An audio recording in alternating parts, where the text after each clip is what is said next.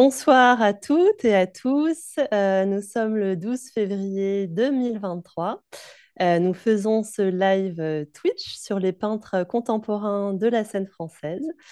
il y a deux semaines, Thomas recevait ici Grégory de Rennes et ce soir, j'ai la super chance de m'entretenir avec Corentin Canesson. Bonsoir Corentin. Bonsoir Marine et bonsoir tout le monde.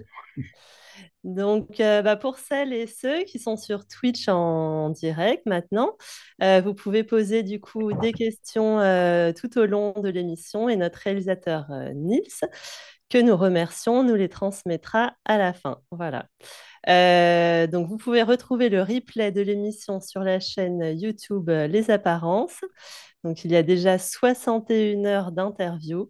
C'est impressionnant. Euh, n'hésitez pas à vous abonner à la chaîne euh, pour être au courant du coup des nouveautés, à liker et partager euh, voilà, les vidéos.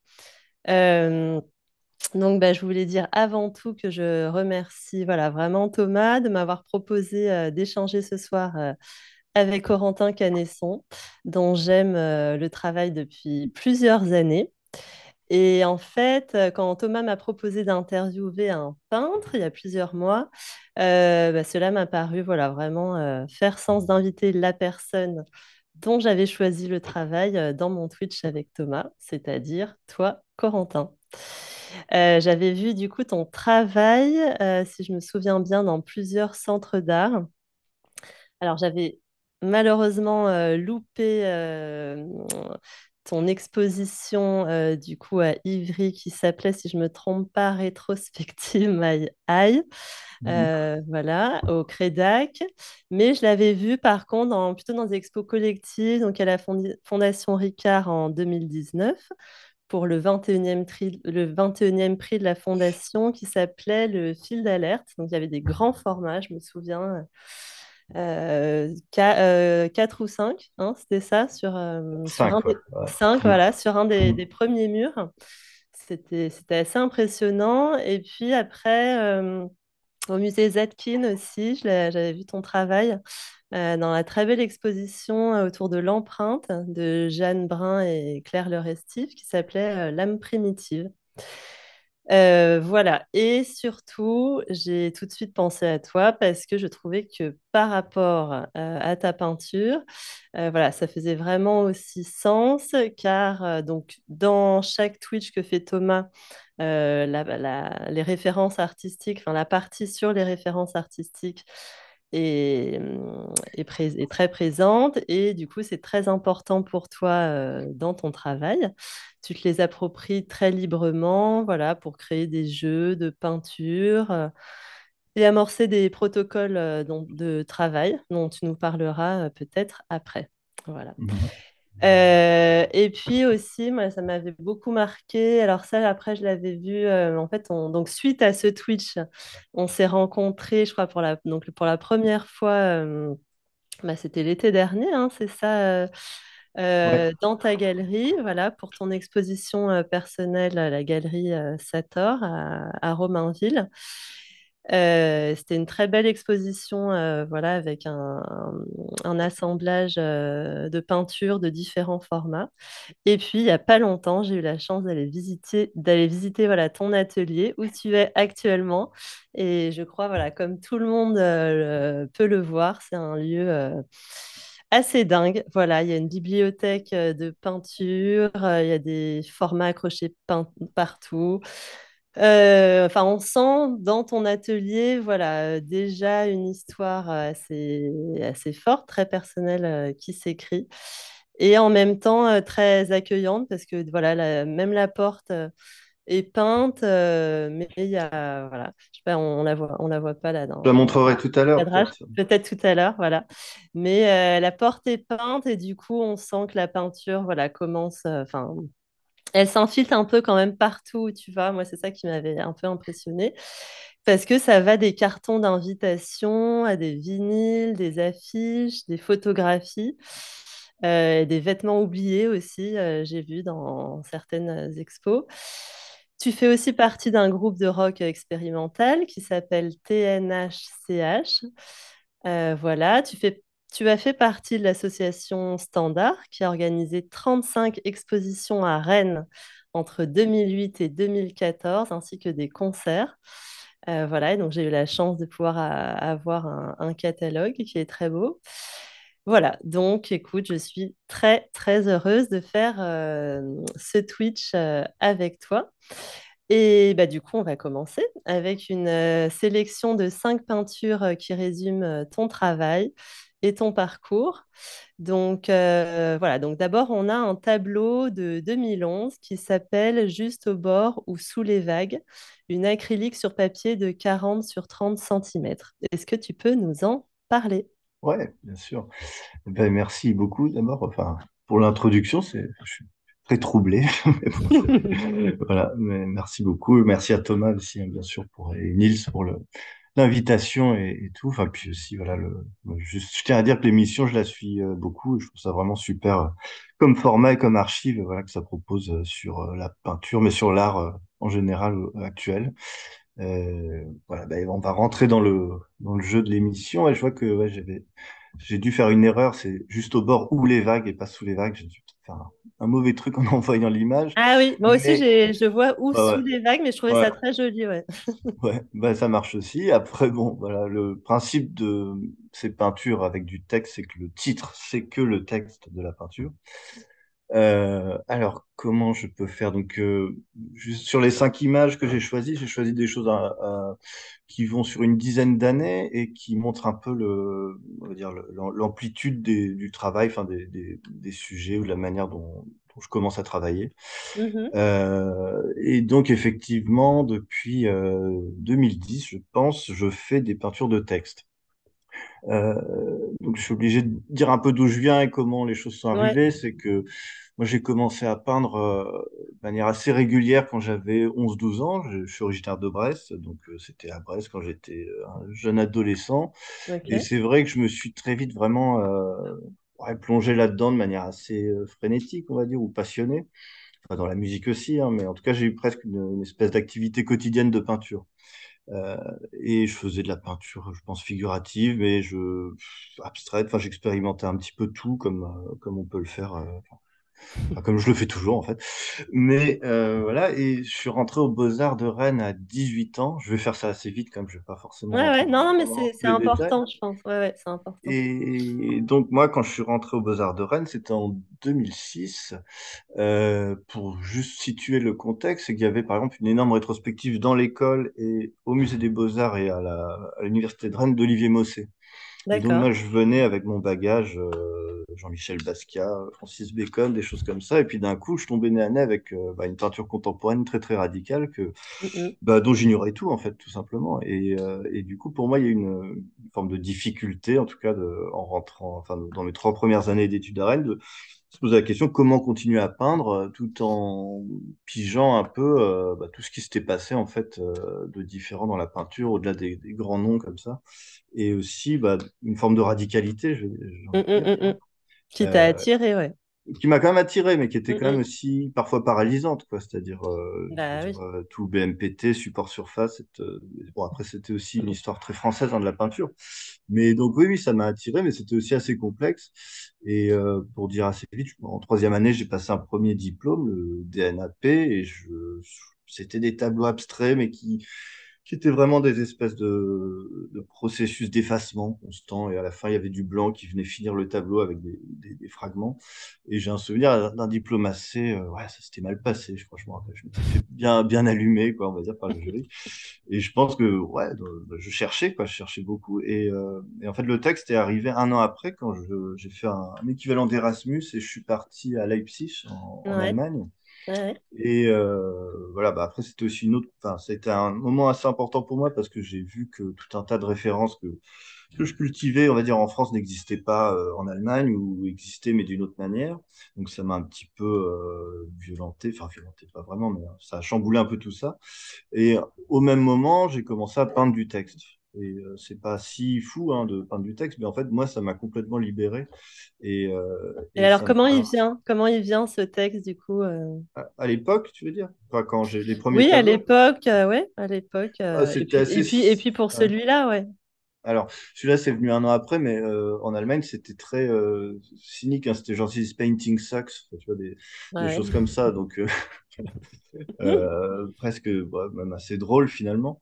Euh, et- mais je pense que c'était même un rapport très simple de la langue, c'est-à-dire que je parlais Mhm. un peu allemand, mais plutôt anglais, donc d'un coup, j'étais plus non plus dans ma langue euh, familière. Bon, enfin, je, je sais plus trop. Et d'ailleurs, tous les tableaux que j'ai fait là-bas, euh, j'avais qu'une valise, je les ai tous euh, abandonnés dans l'école. quoi. Tu vois, j'en ai même Oh plus un seul non, euh, en vrai. Et c'est si, si. mais c'est pas bien ça. j'aimais bien faire ça. Euh, mais je suis rentré en France avec cette grosse découverte de dire, bah tiens, on peut peindre du texte. Ouais, ouais. euh, non, mais très vite, c'est-à-dire que j'ai, j'ai, c'est un peu comme si j'avais dissocié en fait le, euh, le sujet ou l'amorce conceptuelle qui permet, qui autorise de peindre, avec une Mhm. fois que ça s'est débarrassé, bah, je peux faire ce que je veux Mhm. euh, dans, dans le tableau ou dans la peinture. Et j'ai retrouvé, mais bon, après, j'avais pas 40 ans et ça faisait pas 20 ans que je cherchais, ça s'est fait quand même sur trois quatre ans, euh, un âge où on fait plein, plein d'expérimentations. Donc c'était pas, enfin, je le formule comme ça maintenant, mais j'avais pas forcément confiance, conscience de la chose à l'époque. hein. Euh, mais l'autre truc qui était important, c'est que d'un coup, je pouvais euh, en fait faire rentrer d'autres références dans ce pré-travail, si je puis dire. Euh, donc la littérature et surtout la musique. C'est-à-dire que je- j'ai commencé très vite à peindre des titres de chansons que j'aimais, Oui. euh, voilà, de choses comme ça. Et, euh, et après, la peinture elle-même, bah, elle m'a permis d'être, comment dirais-je, de renouer de manière très décomplexée avec les choses que j'aimais, quoi, tout simplement. Donc, j'en Mhm. parlerai plus tard, mais des peintres comme Bram van Vel ou toute une peinture gestuelle américaine ou allemande, d'ailleurs, que j'arrivais pas forcément à, à, je veux dire, à, à faire valider pour moi-même. Hein. Mhm. Donc, Et donc là, les, coup, j'y arrivais. Ouais. les peintures euh, plutôt donc de texte peint, par... donc là c'est une acrylique sur papier, mais parfois elles sont euh, sur toile. Donc ça, comment tu décides, papier, euh, toile, pour ces textes? Euh bah, je- bah, maintenant, je sais plus, j'en fais moins maintenant, hein. mais euh, à l'époque, non, c'était un peu tout ce qui tombait euh, sous la main, quoi. Enfin, je- du coup, ça, c'est- cette peinture-là, je l'ai montrée à mon diplôme en 2011. Mhm. Euh, Donc, euh, est-ce que tu, est-ce que tu peux nous éclairer, nous hmm. éclairer un peu sur, euh, sur ce titre? Ouais, bien sûr, mais en fait, ça me permet. J'ai choisi celle-là aussi pour une raison que un peu, un peu générale, un principe un peu général dans le travail, c'est que j'aime autant parler de la peinture en tant que telle, Mhm. euh, et j'aime autant la faire en tant que telle, que j'aime euh, l'histoire qu'il y a autour et ce qui la précède et comment elle va vivre après, quoi. Et donc celle-ci, euh, c'est une peinture que j'ai toujours un peu aimée parce que je l'associe à un souvenir de de, enfin, je veux dire de faire quelque chose, de pas savoir ce que je fais, que d'un coup quelque chose émerge et moi, je vois toujours cette peinture et je sais très bien que je savais pas ce que je voulais faire en la commençant et que l'arrière-plan c'est une espèce de fond à la Gunther Forg, un peintre que j'aime Ouais, bien ouais. et que le texte il s'est posé là, il devait y en avoir euh, du coup une vingtaine hein, que je faisais et je les avais fait précisément au bord de la mer. Dans le Finistère Nord pendant des vacances scolaires, enfin bon bref. Euh, D'où, les très vagues. important, d'où les vagues, ouais. D'où les Et, euh, vagues. ouais, ouais. Et du coup, ce que je me demandais, c'est tu, euh, tu mélanges euh, du coup les couleurs souvent, toi, sur ta toile directement? Ou par exemple sur le ouais, papier, euh, ouais, là il y a quelque chose comme ça un, je t'as un rapport à la palette, enfin une Hmm. palette externe, ou quand même euh, c'est plutôt ton support qui est ta palette? Non, il y a, il y a souvent comme une palette à côté ou, Ouais, euh, des, ou des murs, effectivement, ou des choses comme ça. Enfin, c'est-à-dire que là, derrière moi, Ah oui, c'est ma ton mur, palette, c'est ta mur. palette. Ton peu, mur peut être palette. Ok. Ouais. Euh, voilà, mais après, c'est aussi des, des tonalités très roses que j'aime bien travailler depuis, en fait, de- depuis toujours, quoi, presque. Et ce Euh, blanc aussi, ce blanc qui revient blanc, ouais, euh, ouais. souvent.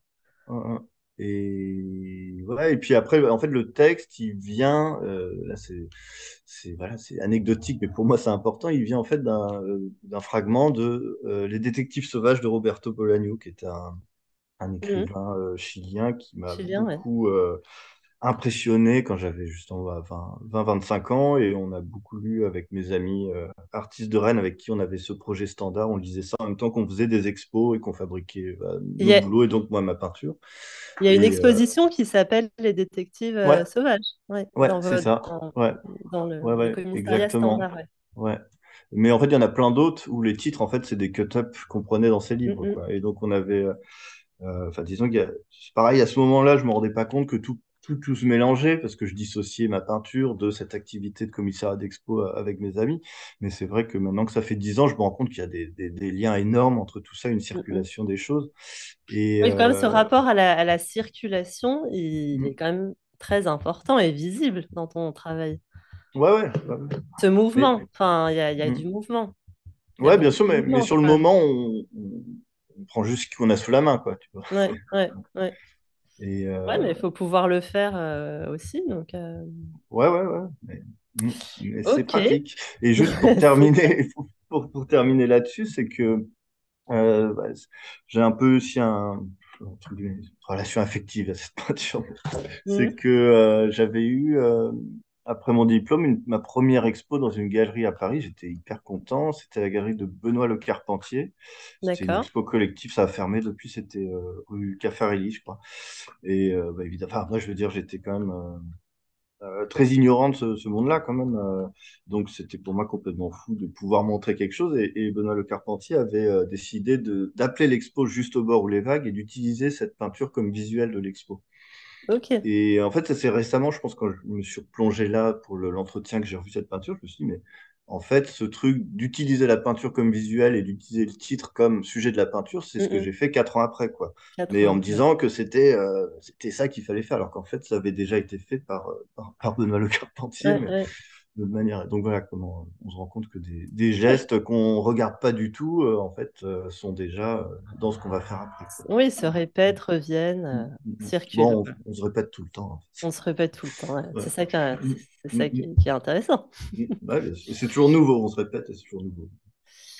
Ok, super. Bah, écoute, on va peut-être passer du coup au deuxième euh, tableau qui s'appelle At Last I Am Free. Donc, c'est une acrylique euh, carrée sur toile de 100 sur 100 cm de 2017 qui appartient désormais du coup à la collection du Frac Bretagne et donc avec un de tes échassiers qui reviennent euh, quand même euh, vraiment souvent dans ton travail. Est-ce que tu peux nous en parler? Bah oui, alors euh, toi du coup, on, enfin, effectivement, euh, je te remercie encore d'avoir forcé, enfin, provoqué entre guillemets notre rencontre, en- parce que euh, ouais, on- enfin, je me dis ça, mais on s'était jamais rencontré avant, mais on avait exposé ensemble en 2016, on s'est C'est vrai. ça, mais on s'était sans doute vu au vernissage, mais voilà, mais ouais, Non, effectivement, j'étais pas, ah pas là au vernissage, ouais. Mais d'accord, je m'en suis, j'ai, ouais, vu ça aussi comme toi ouais, euh, euh, mm, il y a deux, trois mois, tu vois. ouais, Parce que c'était une longue liste d'artistes ouais. sur le verre, hein, je Ouais, crois. c'est ça. C'était Bruno Van der et une autre personne dont j'ai oublié le nom qui avait organisé ça chez Kit.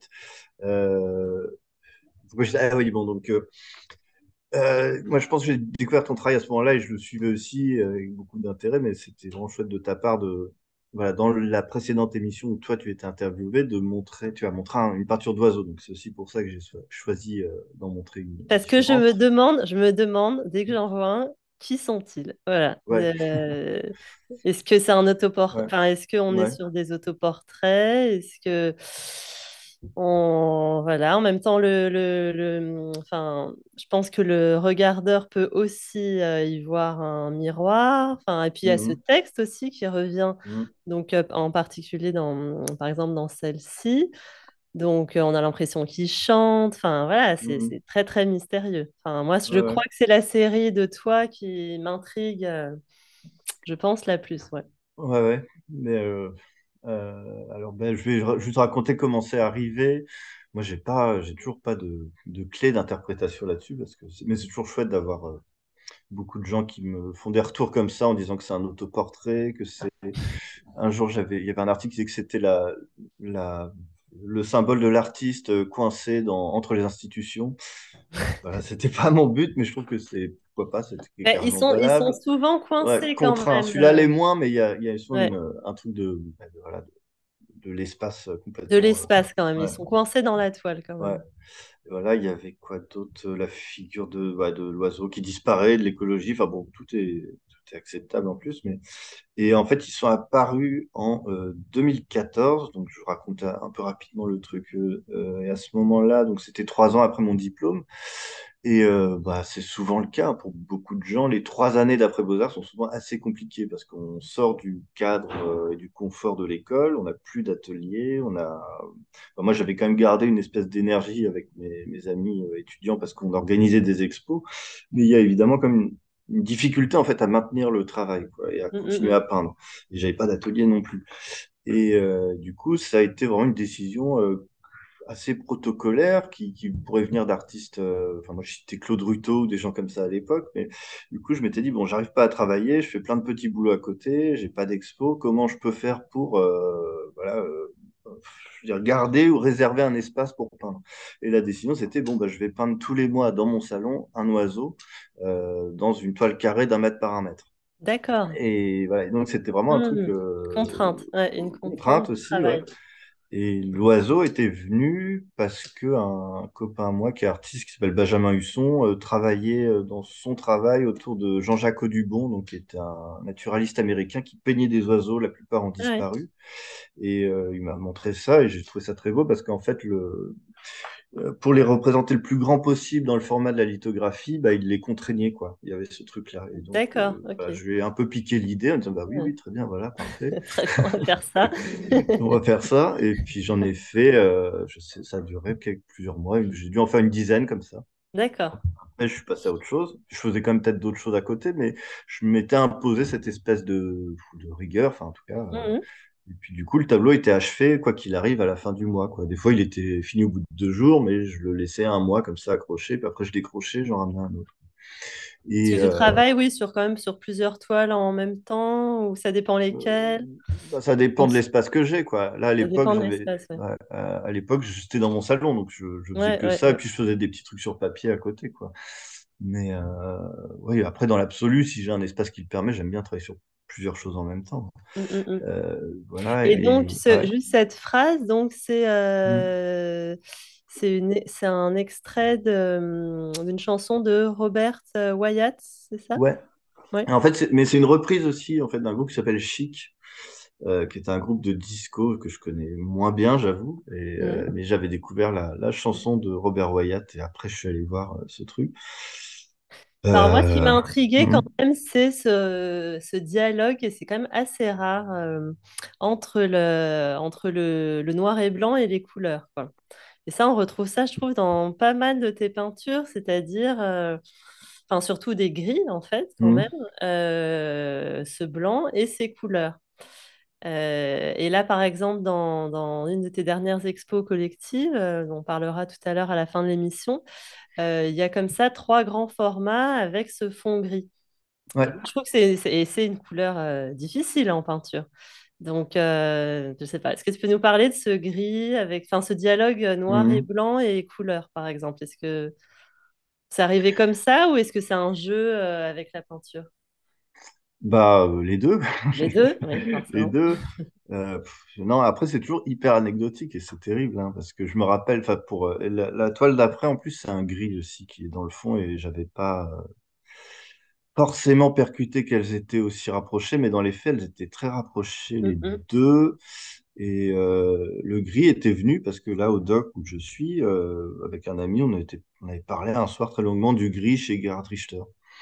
D'accord. Voilà. Et puis, je sais plus ce qu'on s'était dit, mais en tout cas, j'étais revenu dans l'atelier en me disant, bah oui, le gris, c'est c'est intéressant. Donc là, vas-y, je vais faire que des fonds gris. Et c'est tout, en fait. C'est tout. C'est-. Et, et après, à partir de là, euh, on essaie de trouver, enfin, j'essaie de trouver bah, des jeux et des formes de plaisir Mm. en travaillant ce gris-là. Après, bah, pour moi, ouais, moi, ça reste vraiment. euh, Enfin, ce qui m'intéresse le plus dans la... quand je fais de la peinture, c'est des- de créer des rapports de contraste, en fait. Et puis de Ben les voir se réaliser au moment où on le fait, Mm, mm. Mais d'ailleurs, dans ces oiseaux, il y a, on sent, en fait, moi, je, la trouve très intéressante, cette série, parce qu'il y a, il y a, il y a des- il y a, il y a le rap, il y a le contraste euh, couleur-gris, mais il y a quand même aussi ce contraste euh, peinture-trait, où là, où vraiment Mhm. tu viens avec une trame euh, comme ça, hachée, euh, beaucoup plus euh, dessinée, euh, un peu, un peu soutenir la, la lumière, tu vois, de, de Mhm. la couleur. Et du coup, et c'est vrai que je voulais te demander quand même s'il y avait un peu un... Enfin, si tu avais déjà, si tu quand même beaucoup regardé la bande dessinée, si tu la regardais encore. Mhm. euh, Enfin, c'est vrai qu'on pense un peu à Robert Crumb, à, à Riser. Enfin, tu vois, Mhm. cette ligne comme ça, euh, à la fois fermée, ouverte, euh, et quand même, euh, enfin, qui fait penser aussi à l'impression. Pareil, deuxième, qui- enfin, je me demandais aussi si tu avais déjà fait de la gravure. Ouais, un petit peu, un petit peu aux Beaux-Arts. J'en ai refait il y a trois quatre ans une tentative avec euh, l'atelier René Tazé, là. Ah oui, ouais, c'était très chouette, mais c'est juste qu'il faut. Enfin, on- j'étais allé travailler là-bas, faire deux, trois essais, puis ils sont, ils sont très bien. Et je pense qu'on on pourrait faire quelque chose, mais il faut trouver un peu d'argent et pour ah faire oui, quelque chose de plus conséquent. Donc voilà, ça viendra peut-être un jour, on ouais, verra bien. Euh, mais ouais, j'aime bien. Moi, je pense aussi à Roland Topor, tu vois, par exemple, ah un dessinateur que j'aime Mm, mm, beaucoup et que je peux avoir en tête. Après, il faut peut-être, ouais, effectivement, le, du coup, par rapport à cette trajectoire de, de la peinture du texte qui arrive quand je suis étudiant et tout ça, c'est que euh, finalement, ces oiseaux-là m'ont permis de revenir vers de la figuration, enfin, quelque chose qui figure quelque chose sur le tableau. Avant mm, ça, je travaillais vraiment que sur euh, bah, des choses non figuratives ou effectivement avec des collages, des images, des trucs comme ça, mais, mais c'était pas moi qui euh, dessinais. Donc d'un coup, ça m'a remis là-dedans et donc là encore, les, les sources, elles viennent de de très loin et de choses très diverses. Riser, effectivement, parce que quand j'étais petit, il y avait des BD de Riser qui traînaient chez mes parents, et donc ça, ça Ah m'a, bah ça voilà, ça. ça m'a, ça, m'a vachement. Donc tu tombes très juste. Bon, il y avait plein d'autres dessinateurs aussi, mais tout le dessin de presse. Et Crumb aussi, mais j'ai l'impression que Crumb, je connaissais un peu et j'ai dû retourner voir ça de près à cause ou grâce à Philippe Guston, où on Mm, explique bien que le, son retour à- au figuratif vient aussi d'une influence de Crumb, ou en tout cas d'un type de, de dessin lié à ça. Donc, euh, c'est pour ça que c'est tout le temps une circulation, effectivement, qui, euh, qui va de, ouais, enfin, qui, qui prend des chemins très, très euh, bizarres, je pense, quoi. Mm. Euh, Et alors, du coup, ouais. j'avais, euh, j'ai Mm. trouvé, c'est marrant parce que Je, c'est vrai que enfin, ça faisait longtemps que j'avais pas un petit peu voilà, fait des recherches sur euh, Robert euh, Wyatt. Et donc, Ouais. j'ai, j'ai vu qu'il avait fait une émission du coup sur France Culture enfin, il y a, bon, il y a quand même, il y a quand même un petit bout de temps. Et il y avait, pardon, il y avait une très jolie phrase qui disait, euh, il disait, Je rêve qu'un jour les sons qui sont dans ma tête arrivent directement sur une bande magnétique. Mm. Et je trouvais que par, enfin, qu'il y avait Mm. un beau parallèle aussi avec Mm. la peinture. Et du coup, je me demandais quand même, toi, ce rapport quand même à la vitesse comme ça de retranscription, à l'immédiateté, Mm. euh, comment ça se passe à l'atelier? Enfin, euh, est-ce que du coup, tu te dis en arrivant le matin, allez, là, euh, voilà, je, je peins cette peinture avant 10 heures, est-ce que je me Mm. donne euh, 30 minutes? Ou est-ce que euh, cette rapidité, elle arrive euh, sans, enfin, voilà, sans contrainte, quoi? Mm. On- Bah, et on, on le verra encore mieux peut-être sur la peinture. euh, bah, d'ailleurs, on peut, on, on peut peut-être aller vers la peinture euh, suivante. je peux Euh, dire juste un truc ouais, avant sur celle-là. Non, mais Euh, bah ouais, bah, la question que tu poses, elle est hyper intéressante, mais c'est, ça parle beaucoup aussi de frustration et de comment faire pour euh, euh, peindre ce qu'on a envie de voir. Je crois que c'est même le titre de- de- d'un truc de Guston, hein, I, I Paint What I See. Enfin, bon. Mm, mm. Euh, mais bon, je- peut-être qu'on y répondra tout à l'heure, je sais pas. Mais juste sur ce tableau-là, je voulais aussi dire, donc il fait partie de la collection du Frac Bretagne. Donc aussi, j'ai commencé ces tableaux en 2014, euh, j'ai arrêté la série et après, du coup, en fait, j'ai recommencé à en faire, mais en ayant plus cette contrainte d'en faire un par mois. Donc le truc Mm, euh, plus exclusif et se mélangeait avec euh, d'autres séries abstraites. Et donc c'est Mm. aussi, j'ai petit à petit ouvert en fait euh, euh, mes possibilités entre guillemets de ce que je m'autorisais à peindre. Un truc un Ça, c'est intéressant, ouais. C'est comme si ça avait pris du temps et que voilà, il fallait des fois euh, se donner beaucoup de contraintes pour petit à petit ne plus du tout les, les suivre. Et euh, non, et ce tableau juste, c'est qu'il y a une, euh, il y a une copie en fait de ce tableau qui existe que j'ai faite. Donc j'avais été invité euh, suite au prix du Frac Bretagne à faire une exposition à Austin au Texas dans un, un centre d'art. Et très vite, on s'est rendu compte que le budget de transport des œuvres du Frac euh, était énorme et donc euh, plutôt que de, de le- l'utiliser euh, pour le transport des œuvres, bah, autant l'utiliser dans la production et après euh, euh, dans une autre distribution de l'argent d'ailleurs, parce que ça m'a permis de payer pas mal d'artistes que j'ai invités à, à produire leurs œuvres.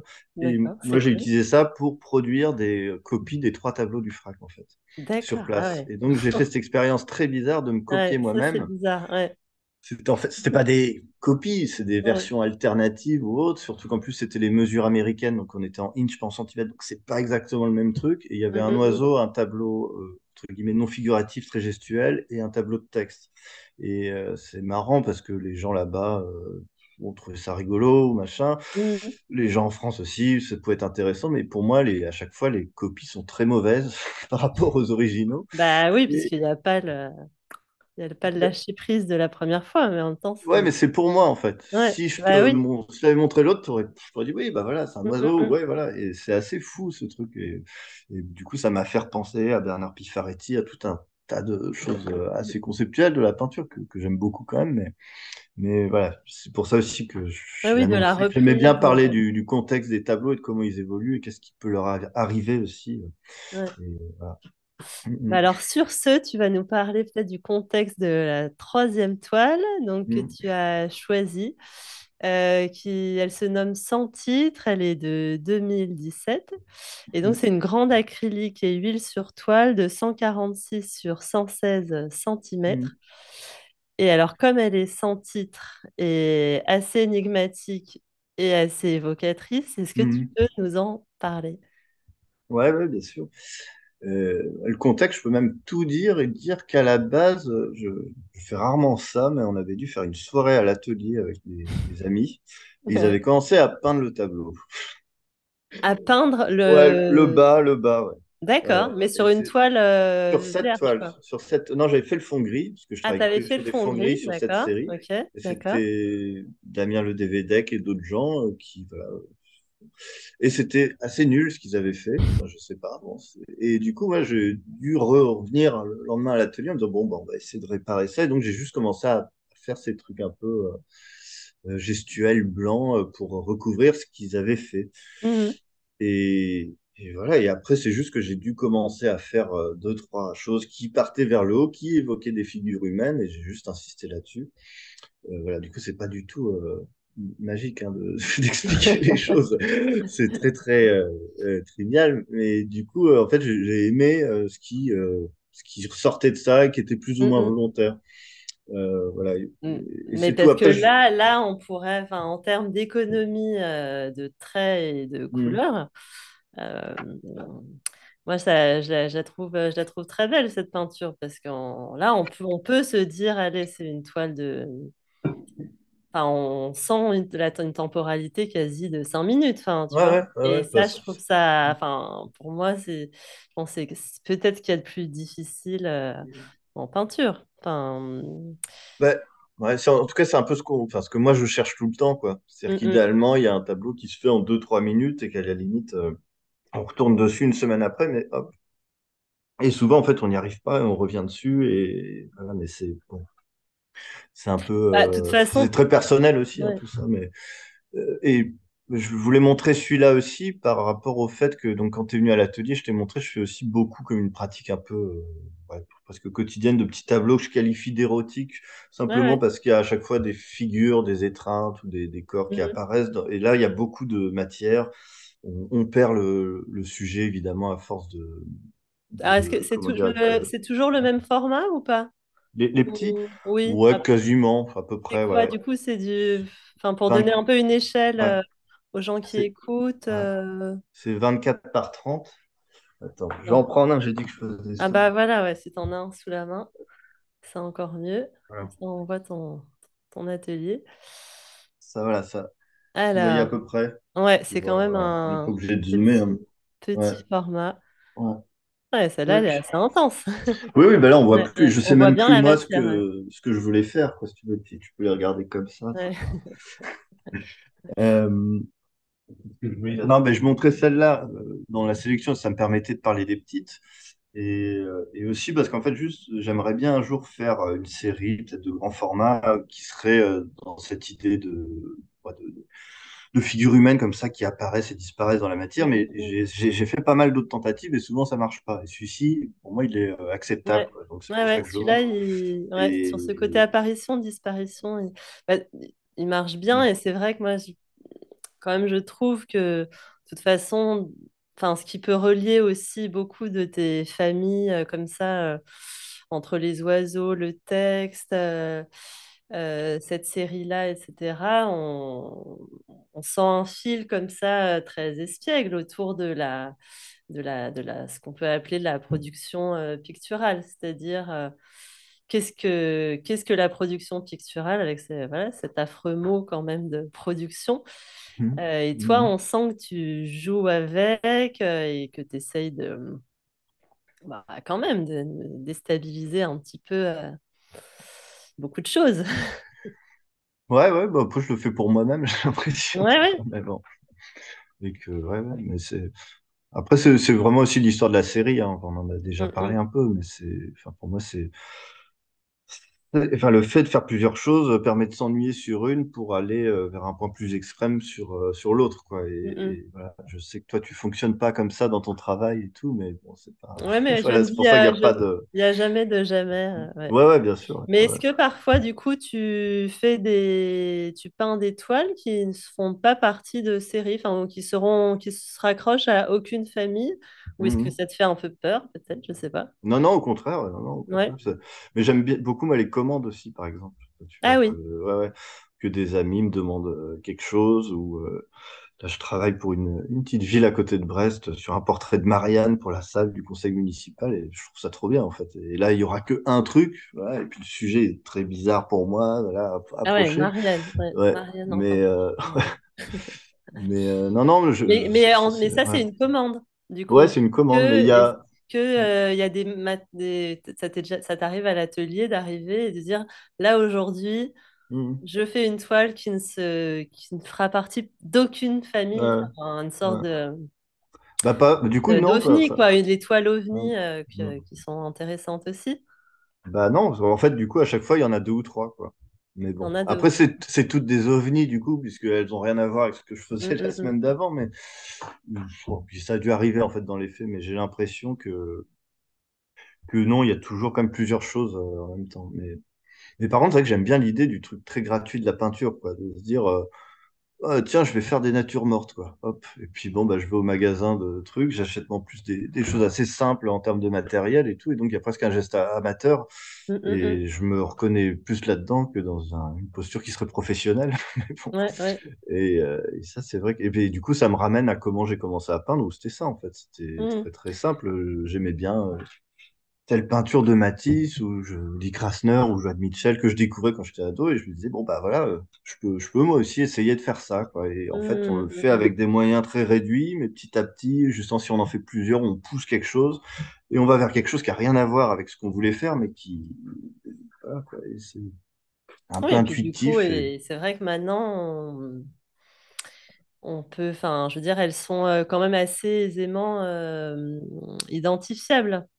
Mais après, ce que j'aime bien, euh, enfin, ce que je trouve euh, assez, euh, assez passionnant dans ta peinture, c'est qu'elles sont identifiables, mais elles ne, elles ne sont pas stylisées. Enfin, j'arrive pas, j'arriverai pas à mettre le mot style dessus, et je pense que tu le Hmm. suis à 100, 100%, ce que j'espère bien. Enfin, moi, j'ai, Ouais, moi, j'ai ouais. un, enfin, comme beaucoup. Mais Hmm. après, il y a des peintres euh, qui aiment cette, euh, cette notion de style, mais euh, c'est encore mieux quand, quand ça échappe à au peintre et que ça soit pas une- un étendard, quoi. Et du coup, chez toi, ouais on ouais sent, on sent cette liberté-là, je trouve, qui est, qui est très grande. Ouais, et pourtant, pour moi, c'est un peu toujours la même chose, quand même, tu vois. Enfin, c'est-à-dire qu'entre un oiseau et ce type de peinture, euh, moi, j'y vois des intentions de ma part assez proches, quoi.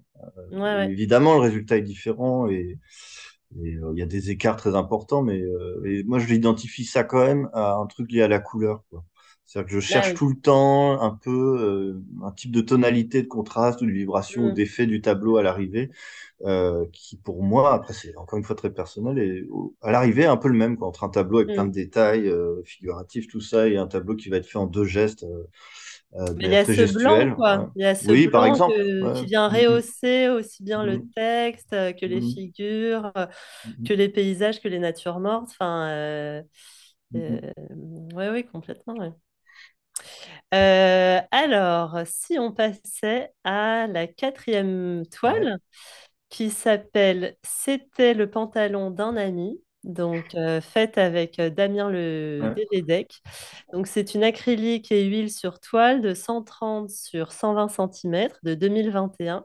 ouais. Euh, et donc Damien Le Dévédec euh, est un artiste avec, tu- avec qui tu collabores souvent. Donc euh, voilà, est-ce que tu peux nous parler de cette toile? ouais. Euh, alors, le contexte de production, c'était euh, donc 2021 et un et euh, on y avait c'était pendant le deuxième confinement donc on a un peu oublié tout ça pourtant ça a duré très longtemps mais c'était le moment où les centres d'art et les musées étaient fermés ils ont été fermés plus de neuf mois je crois Et euh, c'était quand même assez fou d'ailleurs, mais bon, bref. Et, et, euh, moi, je suis beaucoup resté en lien avec euh, l'équipe du Crédac, euh, Claire Le Restif et tout, tous les gens là-bas. Et ils nous Mhm. avaient euh, invité à investir une vitrine à Ivry-sur-Seine. Donc le Crédac, c'est le centre d'art d'Ivry-sur-Seine, qui était donc Mhm. fermé. Euh, et au tout début, ça devait durer un mois et c'était bon, bah voilà, les musées sont fermés, mais on peut montrer euh, de l'art ou quelque chose dans cette vitrine. Et en plus, j'étais pas, pas là à ce moment-là, mais c'était bah, mon ami Maëla qui m'a dit, bah si tu vous louez un camion, vous videz ton atelier, vous le mettez dans la vitrine et, et voilà, ça fait. euh, donc on a fait ça, voilà, en une journée. Et le Covid a continué et euh, bah, le confinement aussi. Et euh, ils nous ont dit, bah, en fait, la vitrine en question, on peut l'avoir pendant euh, six mois et vous et tu peux et vous pouvez avec Damien l'exploiter comme un atelier. Ah oui, voilà, c'est comme ça que ça s'est fait. Et euh, en fait, l'espace était immense, c'était super euh, agréable de pouvoir d'un coup euh, voilà, faire plusieurs choses différentes en même temps, des grands formats. Et euh, donc ce tableau-là fait partie de toutes les peintures qu'on a réalisées avec Damien sur ces cinq mois. Et donc, euh, avec Damien, ça fait un moment. Alors, on se connaît depuis les Beaux-Arts, on s'est rencontrés en 2006. D'accord. On a fait ensemble cette galerie standard. Il fait aussi partie du groupe euh, TNHCH. Et depuis, je pense, 2014, on a cette pratique euh, assez régulière de euh, il dessine et moi je repeins son dessin. Donc D'accord. son. Ouais, dessine euh, ouais. sans, sans te dire, enfin, vous concertez pas avant sur le dessin. C'est... Si, ça arrive, mais Oui. après, ça devient un mouvement un peu euh, pff, voilà, global. Ou des fois, je lui dis, j'aimerais bien que tu fasses ci, ou, euh, ou faisant ça, il fait autre chose, etc. Donc ça se fait de manière très, très... euh, bon, on rigole beaucoup aussi en faisant ça, évidemment, mais, mais ça se fait de manière assez décomplexée, quoi. Euh, et du coup, Alors, cette assez... toile, elle est, Ouais. elle est intrigante, cette toile. Mm. Euh, donc, on a ce mur blanc, à nouveau, donc ce blanc qui est sur le mur, qui est sur le, le linge euh, qui recouvre euh, le visage, le portrait. Ouais. On a les chaussures euh, aux mains. Ouais. Euh, on a l'impression, quasiment l'impression qu'il est en train de peindre avec ses chaussures. Peut-être, ouais. Euh, en même temps, on voit un lendemain de fête. Enfin bon, j'ai pensé à. Thomas aussi, et ses belles aquarelles Ah oui, ouais, oui. euh, de fête. Mais là, on est plutôt sur le, on est Ouais. plutôt sur le lendemain de fête, là, je trouve. Ah ouais, mais je l'avais pas vu comme ça, mais Ah, tu pas n'avais pas vu comme ça. Non, Écoute, je sais non. pas. Euh, donc voilà, je me suis, Euh, je mais me je... pourquoi tu l'avais, tu l'avais choisie, parce que est- je la euh, trouve justement un peu ovni aussi par rapport ouais. ouais. aux autres. Euh, on n'en saurait pas Bah, dans, dans quelle famille euh, la mettre, tu vois, mm, instinct- mm, ins- mm, mm. instinctivement. Après, tous les tableaux qu'on a fait avec Damien, on a des trucs ovni comme ça, parce que c'est aussi Damien, la manière dont il dessine et les sujets qu'il choisit, à chaque fois, ça, ça va euh, un peu euh, enfin, assez loin. Et lui, il connaît bien mon travail aussi, donc il fait exprès de prendre des choses qui vont euh, se décaler, quoi. Et là, pour l'anecdote, moi, je sais d'où ça vient. Ça, en fait, c'était qu'au même moment, au Crédac, il y avait euh, une artiste, une critique, Flora Bouteille et Cassandre Langlois, qui étaient en résidence. Et euh, elle faisait surtout des performances avec, elle travaillait avec des acteurs et qui faisait ce genre en fait de, de mise en scène. D'accord. Et ce qui paraît évidemment, bon, voilà, c'est l'art contemporain, voilà, on va mettre des, des choses sur. euh. Et ce qui était assez marrant, c'était que Mathieu euh, Pitkevich, qui suivait, nous avait invité, qui suivait le projet, qui travaillait au Crédac, en fait, il nous racontait les performances et nous, on les dessinait après Ah oui, sans les avoir vus. sans les avoir vus. Et Ah du oui, coup, ça, et après, on s'est Ouais. rencontré avec Flora. Un jour, j'aimerais bien avec elle faire un projet comme ça où la- l'archive de la performance, ça serait la peinture. Du coup, le, Ah oui. le tableau a un, un statut très bizarre où c'est un vrai tableau, mais c'est aussi un document d'archive. Euh, voilà. Et du coup, c'était assez chouette. Et en fait, pour revenir à ce contexte-là, c'est que dans, dans cette grande vitrine, en fait, on a aussi pu inviter d'autres artistes Ah à oui. venir travailler. Euh, On a fait un peu de musique avec le groupe. euh, et comme voilà, tout était fermé, nous, on faisait euh, ce qu'on voulait, mais à l'intérieur de ça, ce qui était euh, protégé, Mais du coup, vous avez pu, euh, du coup, les- une fois les six mois passés, est-ce qu'il y a eu des, des visiteurs qui ont pu rentrer en, en exp- Enfin, du coup, c'est devenu une exposition euh, visitée Ouais, bah justement, alors qu'on a fait. Enfin, du coup, aussi, euh, Flora Bouteille et Cassandre Langlois ont invité d'autres gens, ils ont fait des, des performances. Enfin, bon, bref, le truc a, a pris une forme comme ça assez expérimentale qui était assez chouette aussi. Enfin, j'avoue que le Covid, c'était terrible, mais ça a pu permettre parfois, de, en chamboulant la programmation classique des centres d'art et d'autres trucs, de créer d'un coup des espaces complètement nouveaux où euh, voilà, on n'avait pas euh, forcément des moyens énormes, mais on pouvait d'un coup euh, tenter des choses, euh, voilà, très, très. bah, et puis surtout programmer des. Enfin, trouver des expos en 15 minutes, quoi, en fait, et puis les Ouais, faire, euh, ouais, etc. non, c'était ouais, Donc, c'est bon, malgré tout, c'était pas, pas, pas trop mal. Et, euh, et du coup, ouais, pour euh, ce qu'on a fait, euh, vu que les gens passaient, c'était assez intéressant. C'est-à-dire qu'on avait un rapport direct au public, mais qui ne pouvait pas rentrer. Et au final, on sortait, on discutait avec les gens et les, les- les personnes un peu du coin me disaient, bah, on aimerait bien venir voir. Et donc, on s'est dit, bon, bah, maintenant que le confinement est terminé, que le Crédac va réouvrir, que nous, on termine le truc ici, il faut qu'on fasse une ouverture, quoi, du, euh, du travail. Et on s'est dit que on allait ouvrir juste sur un week-end, que moi et Damien, on ne serait pas présents, que ça serait euh, l'équipe du Crédac qui ferait la médiation, qu'on faisait un peu de com, mais pas trop. Ça restait assez local. On imprimait des Mm. affiches qu'on collait. Et donc, des gens ça, donc venaient. ça, c'est une action que tu fais souvent et le, quand même Oui, le faire des affiches. Ouais, faire des affiches ouais. et. Ouais, ouais. Et par contre, avec Damien, on qu'est-ce qu'on fait de tous ces, ces 50 tableaux. euh, certains ouais, étaient 50 énormes. ouais. Ouais, plein de trucs sur papier avec des sujets assez monstrueux parfois, enfin monstrueux, pas, pas choquants, mais des trucs pas qui, qui on savait pas. Et euh, voilà, on s'est dit, bah tiens, on va demander aux personnes qui gardent l'expo que si quelqu'un vient qui dit qu'il aime bien ce tableau, bah il peut le prendre. Ah oui, Voilà. Et à rebours du marché de l'art. voilà, ouais, ouais, c'était bon.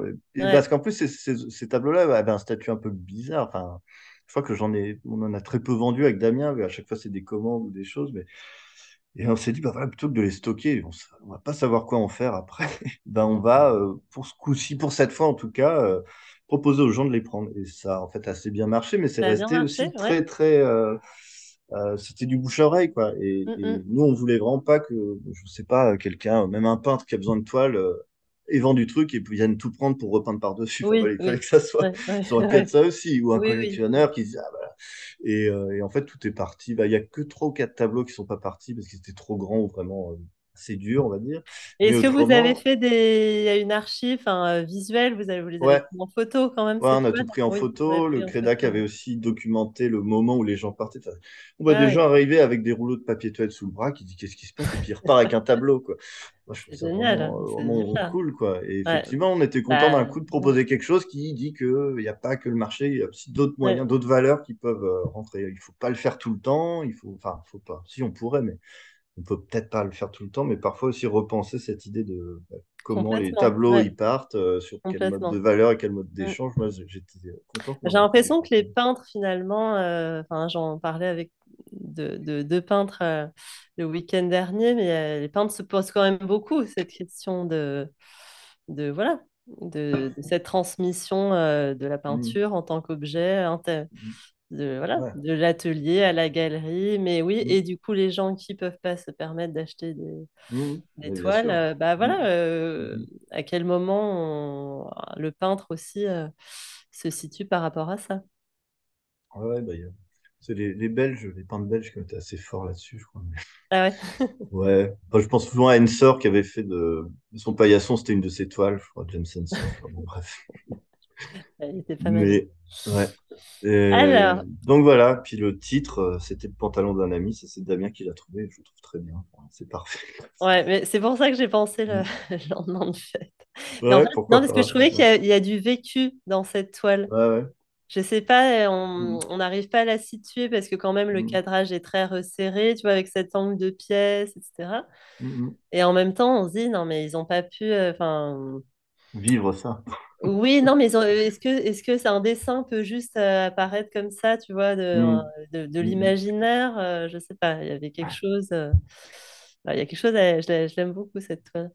mm. Alors, on va passer euh, le temps au passe. cinquième élément. Le temps passe très très vite, voilà. Et en même temps, c'est important d'aller dans les détails. Euh, donc, avec le cinquième élément, donc là, je ne parle pas de toile, mais qu'il y en a 17. euh, voilà, donc euh, tu as choisi euh, pour euh, clore cette première euh, partie autour de tes peintures, avec une donc vue d'une exposition qui s'appelle Zenzurt, que tu as fait du coup en, à Berlin l'année dernière à la Villa euh, Eike. Et donc voilà, on a 17 toiles juxtaposées. Est-ce que tu peux nous en, nous en parler? Mm.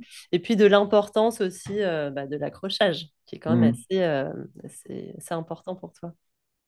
Ouais. Bah oui, voilà, c'était. bah, je voulais montrer une vue d'expo pour euh, bah, je veux dire, expliquer dans quelle mesure aussi, pour moi, la...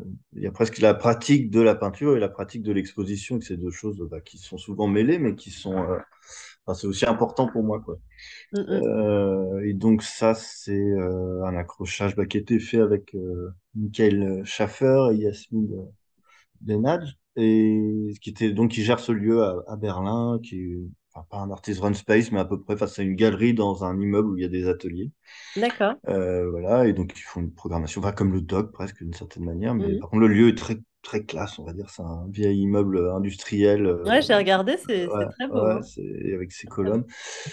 Euh, qu'est-ce que je peux dire là-dessus? En fait, là, donc, il y a des tableaux qui datent de 2022 jusqu'à 2010. Là, le Nevermore au milieu, c'est un tableau que j'ai fait quand j'étais justement euh, étudiant à Rennes. Euh, et puis, donc, il y a des oiseaux. La, la- la femme sans tête, c'est un tableau avec Damien. Enfin, Alors, ouais, est-ce que tu arriverais à, voilà, à nous dire ouais. quelques mots sur cette femme sans tête et puis aussi Ah, ce, ce personnage là qui tombe qui des, des tombe, ouais. Mm. Alors, la femme sans tête, c'était un tableau qu'on avait fait justement au prix Ricard en 2019. Ouais, c'est vrai Euh, qu'il y était, ouais, oui. Mm. ouais. Et euh, voilà, au prix Ricard, il y avait cinq tableaux qui étaient faits sur place euh, parce que Ah atelier fait trop sur place. Ouais, ouais, ouais. Bah, je fais ça vraiment euh, ouais, dès que je peux, dès que j'ai le temps, parce que c'est, enfin, ça permet d'avoir plus d'espace, de rencontrer les gens et puis aussi de, j'aime bien de bah, de prendre plein de données qui viennent du montage, euh, des gens qui travaillent dans le centre d'art, etc. Et ça, en fait, ça transforme beaucoup plus le travail que si on est tout seul à l'atelier. Euh, Oui, mais c'est- difficile de faire ça. c'est un peu périlleux parfois, on peut se planter, mais bon, voilà. Mais... Non, mais c'est important. Enfin, je veux dire, toi, ça Ouais. stimule quand même euh, ce rapport au, au risque, à l'in situ, au ratage, à Mhm. l'échec. Enfin, euh, Mhm. Euh, on parlera de Brandon Bell euh, tout à l'heure, Ouais. donc il doit y avoir des, Ouais. des liens avec tout ça, mais Mhm. c'est, ça stimule en tout cas ta- la Ouais. forme, quoi. Bah oui, puis ça amène du contenu, en fait, presque. Enfin, ça amène du contenu. Ça amène de la matière, en tout cas, quoi. Et d'ailleurs, le- l'autre tableau à côté de la femme sans tête, c'est un tableau de Ricard. Et pour te donner un exemple, le rose qui est là, c'était, euh, on allait fouiller avec le régisseur dans les réserves et on a vu ce rose-là qui datait d'une expo précédente. Et, d'accord. voilà. Ça, enfin, voilà, comment les choses arrivent, c'est autant le sujet que euh, telle couleur, que telle chose, quoi. Le hasard, Puis euh, le hasard, ouais, bien sûr. ouais. Et là, Damien, il était venu avec cette idée-là, euh, qui est une sainte bretonne qui s'appelle Sainte Tréfine. Lui, il vient de Pontivy, vraiment le centre de Bretagne. Donc, c'est un icône qu'il voyait dans les églises comme ça, qui plaisait beaucoup, enfin, qui l'a marqué, quoi. voilà. Mm, mm, mm. Et puis, je sais pas, je- Oui, on pense à la femme plus. blanche, enfin, aux Ouais, histoires comme ouais, ça, voilà, euh, ouais. a- on, on entendait Mm, tous euh, gamins et qui nous mm, faisaient un peu mm. froid dans le dos. En même temps, c'est un peu absurde parce que tu vois, là, on voit pas bien, mais elle tient sa tête et puis elle fait le signe allô, quoi. Tu vois. Oui, oui, c'est plus. C'est vraiment pas. C'est très, très bizarre. ouais, ouais. Et puis Et le, l'autre le, le euh, l'autre bonhomme per- qui tombe, l'autre ouais. bonhomme qui tombe en pyjama.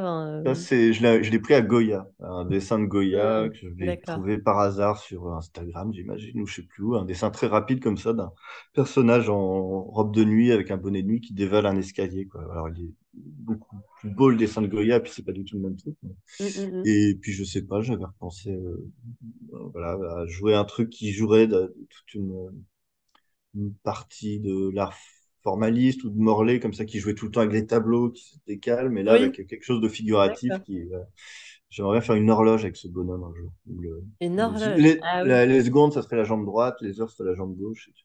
Ah, on attend, on attend ça. On attend l'horloge. Ouais, c'est ça. Bon, ouais, voilà. Et donc, Alors, après, si tu veux, voilà, chaque toile a, ouais, a- a une histoire. Et euh, du coup, ce, ce type d'accrochage euh, comme ça, presque en polyptyque, euh, c'est le troisième là que j'ai fait. Il y en avait un du coup chez Sator voilà. Dernier qui, qui était très beau aussi. Et, c'est, et après, en fait, ce- ces tableaux-là, ils font partie d'un fond où il y en a une quarantaine que je fais tourner d'une certaine manière depuis un an. Ça avait commencé avec euh, Lola Gonzalez, qui est une artiste avec qui euh, j'ai souvent fait des expos et qui nous avait invités, moi et d'autres artistes, à la Villa Arson. Et moi, je pouvais pas être là, donc j'ai proposé de leur envoyer 40 toiles euh, très différentes, dont celle-ci, Mhm. et de les laisser complètement libres dans l'accrochage. D'accord. après, en Ouais, fait, c'est une marque de un... confiance. Ouais, Ouais, mais c'est ouais. intéressant. Puis Bah, des, super artistes, euh, Ouais, ouais. d'ailleurs, m'avaient dit, mais on va te décevoir. Et puis, je, je m'étais dit, mais je serais curieux de savoir comment ça peut me décevoir, en fait. Donc, rien que ça, Mhm. ça, ça m'intéresse, Ah bah oui, oui, c'est super. euh, Et puis, avaient fait très bien, en plus. hein, Ouais, ouais. Et donc, en fait, après ça, il y a eu une expo à- au Crac 19 à Montbéliard, organisée par les gens de la tôlerie, collective aussi. Mais là, il y avait un grand mur, et donc, on a tout mis euh, sur le grand mur. Et là, à Berlin, en fait, j'ai remis ce stock là-bas. Avec, euh, il y a trois autres murs avec d'autres tableaux plus petits qui étaient mais du coup, c'est, voilà, ça, ça reconfigure à chaque fois le- l'ensemble. Et, euh, et puis il y a cette idée en fait que le, le polyptyque, euh, bah, c'est plein d'histoires ou de fragments ou de périodes et que tout ça après forme un, un ensemble Un qui, ensemble, ouais.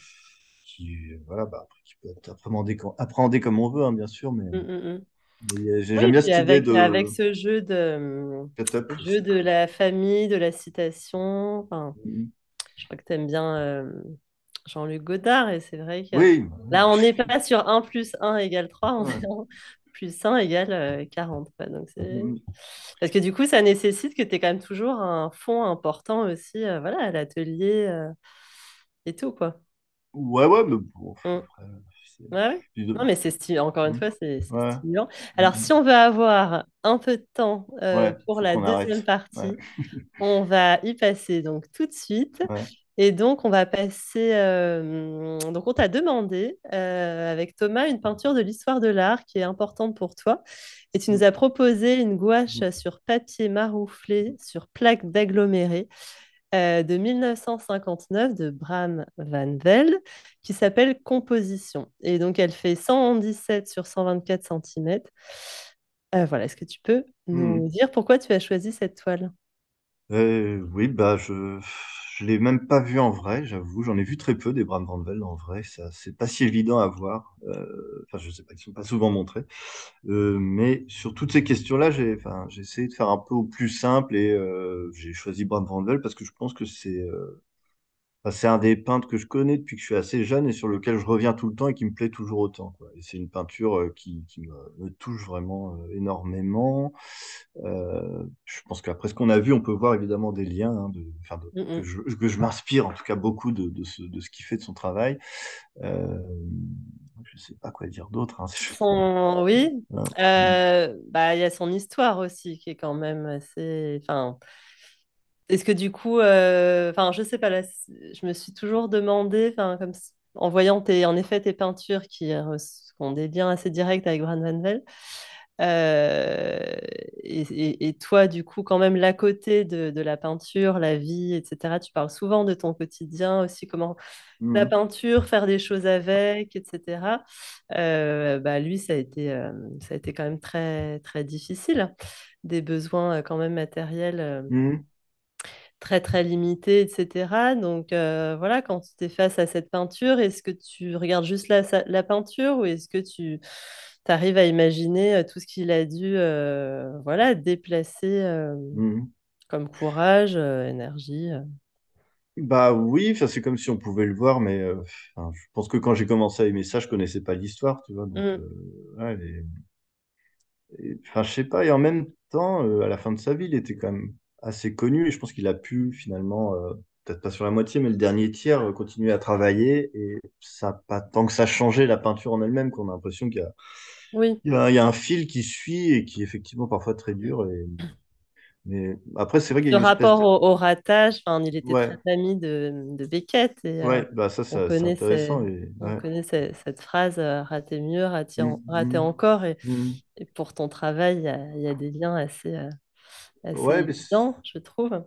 ouais, Alors, je me demandais si tu aimais la peinture de son frère aussi, Ouais, moins, mais euh, j'ai regardé, ouais, bien sûr, j'ai regardé. Puis il y a le texte de Beckett qui est vachement bien. euh, c'est Le monde et le pantalon, justement, je sais plus. Il y a un texte sur les deux frères qui, qui est vraiment chouette. D'ailleurs, c'était le pantalon d'un ami, ça se trouve, ça renvoie Ah oui, au ouais, texte de ouais. Beckett, le monde et le pantalon. Je sais plus, c'est peut-être. Damien qui avait pensé à ça. Euh, ouais, puis après, en fait, ce que j'aime aussi beaucoup chez euh, Bram Van Vel, c'est l'économie de moyens, quoi, justement. Et, et j'aime bien les huiles, mais euh, d'ailleurs, celle-là, j'ai jamais vu en vrai, mais j'ai quand même tendance à aller vers les gouaches. Mm, mm, Où mm, on voit mm. qu'il fait- Et puis, justement, à la fin de sa vie, je pense qu'il vendait correctement, mais il n'utilisait pas, enfin, il utilisait les mêmes matériaux, quoi. Il, Oui, il que le greffait sur des, des, des papiers où on voit les punaises, souvent qui sont euh, les, les traces des punaises, enfin, des tas de choses comme ça. Et, euh, et du coup, moi, c'est vrai que je me retrouve aussi là-dedans, dans cette idée que quand j'ai découvert ça vers onze douze ans, je me suis dit, bah, tiens, je peux essayer de faire comme Brand Van Velde aussi. Et c'est, voilà, il y a une espèce d'accessibilité, quoi, là-dedans, qui est, euh, et que j'aime beaucoup, en fait, chez les peintres, en général, enfin, chez les Mm, peintres que mm, j'aime, quoi. C'est-à-dire que cette euh, manière de dire, bah, on peut reprendre, on peut le faire aussi. euh, mm, mm. voilà. Oui, bah, une- c'est vrai qu'il y a toujours cette, cette grande circulation quoi, Mm. du, du regard dans, dans ces toiles. Et en même temps, là, moi, je trouve ça très impressionnant, c'est qu'on a l'impression qu'il veut, il veut bousculer euh, l'harmonie du tableau à chaque coup de pinceau. Ouais, ouais. C'est-à-dire, c'est harmonieux, mais tiens, si on allait y mettre un petit peu de, Mm. de bazar. Et ça, c'est Mm. très, c'est très, très difficile, euh, Ouais. pas à faire, mais que ça tienne au final, quoi. Ouais, carrément, mais c'est vrai que dès que j'en vois, moi, ça- je suis, je, je suis ému, quoi. Mm. Mm. Euh, alors ensuite, on Ouais. passe à un, autre type d'émotion. Euh, on t'a demandé une peinture de l'histoire de l'art que tu n'aimes pas, que tu ne comprends pas encore, que tu rejettes. Et tu nous as proposé donc Nicolas de Staël, euh, une toile qui s'appelle Fleur, qui fait 147 sur 198 centimètres, qui est une huile sur toile de 1952. Alors, est-ce que tu peux nous expliquer euh, pourquoi? Même si j'ai une toute petite idée derrière. Oui, oui, oui. Bah, c'est la question assez pénible. hein, de... Alors, on en a pas mal parlé en off. hein. Euh, j'ai pris ça en clin d'œil à, à ton interview à toi où tu m'as, où tu parlais de Dostal, justement. Et en fait, bah, j'ai pris euh, une peinture que j'aimais pas d'un peintre que j'aimais bien et que, en fait, j'ai aimé, que j'ai plus Ça, c'est aimé, que je... intéressant. C'est et que j'ai aimé à nouveau récemment et grâce à toi en partie, quoi. Euh, voilà, et donc pour la, mon, l'histoire de ma relation avec Dostel, c'est que pareil, quoi. 11-12 ans, et je découvre toute la peinture, enfin pas toute, mais voilà, et Dostel, il me paraît vraiment important et j'aime beaucoup aussi, enfin je comprends pas les choses de la même manière que maintenant, mais voilà. J'oublie ça aux Beaux-Arts et puis très vite j'associe ça à un truc d'école de Paris, un peu ringard, euh, qui me plaît plus et je le revois surtout quand euh, j'allais voir ma, une de mes grand-mères qui était en maison de retraite et en fait il y avait des, des fleurs de De Staël, pas des, des posters quoi, de, de D'accord. Et là j'avais envie, je me dis, ah, je veux De Staël quand même, c'est, je sais pas, c'est kitsch ou c'est pas, euh, voilà. Et donc j'étais resté là-dessus et quand tu as parlé de Staël, de sa maison, enfin tu parles aussi de toute sa vie euh, assez tragique, je me suis dit, mais tiens quand même de Staël, il faudrait que j'aille revoir et depuis j'ai lu euh, deux, trois, enfin une biographie, quelques livres et quelques catalogues. En fait c'est à nouveau une peinture qui me plaît beaucoup, mm, mm, euh, mm. qui, est, qui, a, qui a effectivement peut-être enfin, des, des défauts, c'est pas le terme de défaut, mais qui est peut-être marqué par une époque euh, des années enfin, fin 40, 50 et tout. Le couteau. Mais le couteau, voilà. Le problème du couteau. Le problème du couteau, mais si on passe au-dessus de ça, il y a vraiment des choses hyper intéressantes avec ouais, une, rapidité aussi. euh, et on en parlait l'autre jour, tu m'as dit que Godard avait dit que pour lui, il avait, euh, il était allé au bout de la peinture. Jean-Luc Et, Godard, ouais. Jean-Luc Mm. Godard a dit euh, qu'il était allé au bout de la peinture. Et je que c'est peut-être, enfin, je sais pas si c'est juste ou pas, mais, mais ça m'a troublé de savoir que Jean-Luc Godard regardait cette peinture aussi, puisque les derniers films de Godard, je trouve, ont des, des, des rapports de contraste, toutes choses à l'image qui me plaisent énormément et qu'en fait on peut rapprocher de Dostal justement. Tu veux dire ces Mais passages où il sature euh, beaucoup ouais, d'images, ouais, enfin ouais, quasiment euh, au mm, maximum. Et en effet, ça devient de la, mm, de la peinture parce qu'on mm, n'a plus de détails en fait. Donc, moi, Euh, c'est une des. enfin, j'aime bien Jean-Luc Godard, mais j'avoue que le truc qui me touche le plus, c'est peut-être les dix dernières années ou les vingt dernières années, où il y a ce traitement de l'image-là qui devient vraiment hyper libre, hyper euh, peut-être radical aussi, je sais pas, mais, mais bah, il a dû voir chez De Staël euh, une radicalité, quoi. C'est vrai Mm, que dans certains paysages, on est quand même sur euh, trois couleurs, euh, une ouais. ligne. Alors après, il y a le problème du surplus de la matière qui dérange Ouais, ouais, bien plein de gens et nous aussi, je pense, en tant que peintre, Mm, on se dit, il y a toujours. Alors, moi, c'est vrai que j'ai lu que du coup, c'est après avoir, euh, avoir lu un, des études, euh, enfin, un livre sur Van Gogh. euh, voilà, il a, il a refermé le bouquin, il a dit, moi aussi, je vais, je vais faire Hmm. des fleurs. Voilà. Et qu'après, il a vu, ah ce- voilà, en fait, il a dit, moi aussi, je ferai des fleurs. Mhm. Et, et après, et, et l'année d'après, il a vu euh, le tableau euh, des roses blanches de, de Van Gogh. Et, là, il a fait, il s'est Hmm. lancé dans toute sa Hmm. série qui est arrivée jusqu'à euh, la maison de retraite, voilà, en poster Voilà, c'est ça. grand-mère. Hmm. Non, mais je triche Euh, un peu, hein, du coup, j'ai pas. mais du Voilà. coup, alors, c'est marrant parce que du coup, quand c'est vrai que je me suis dit, tiens, c'est c'est étonnant. Il, donc, il met, il met de Stahl, etc. euh, parce que j'ai j'ai vu en effet, enfin, du coup, un ami à lui disait ça vraiment, la série de Nicolas de Staël sur les fleurs, c'est il était dans l'expérimentation, que dans Hmm. l'expérimentation, etc. Et du coup, je me demandais, euh, toi, est-ce que cela te gêne, par exemple, euh, euh, un peu qu'un peintre, euh, voilà, ait des errances douteuses, expérimentales? Quand tu regardes, on va dire, l'ensemble du, du- du Hmm. travail, est-ce que ça, ça t'énerve, ça t'ennuie de voir des toiles superbes et puis d'autres euh, Hmm. très limites, quoi. Hmm. Bah, non, en fait, ça rassure, je trouve.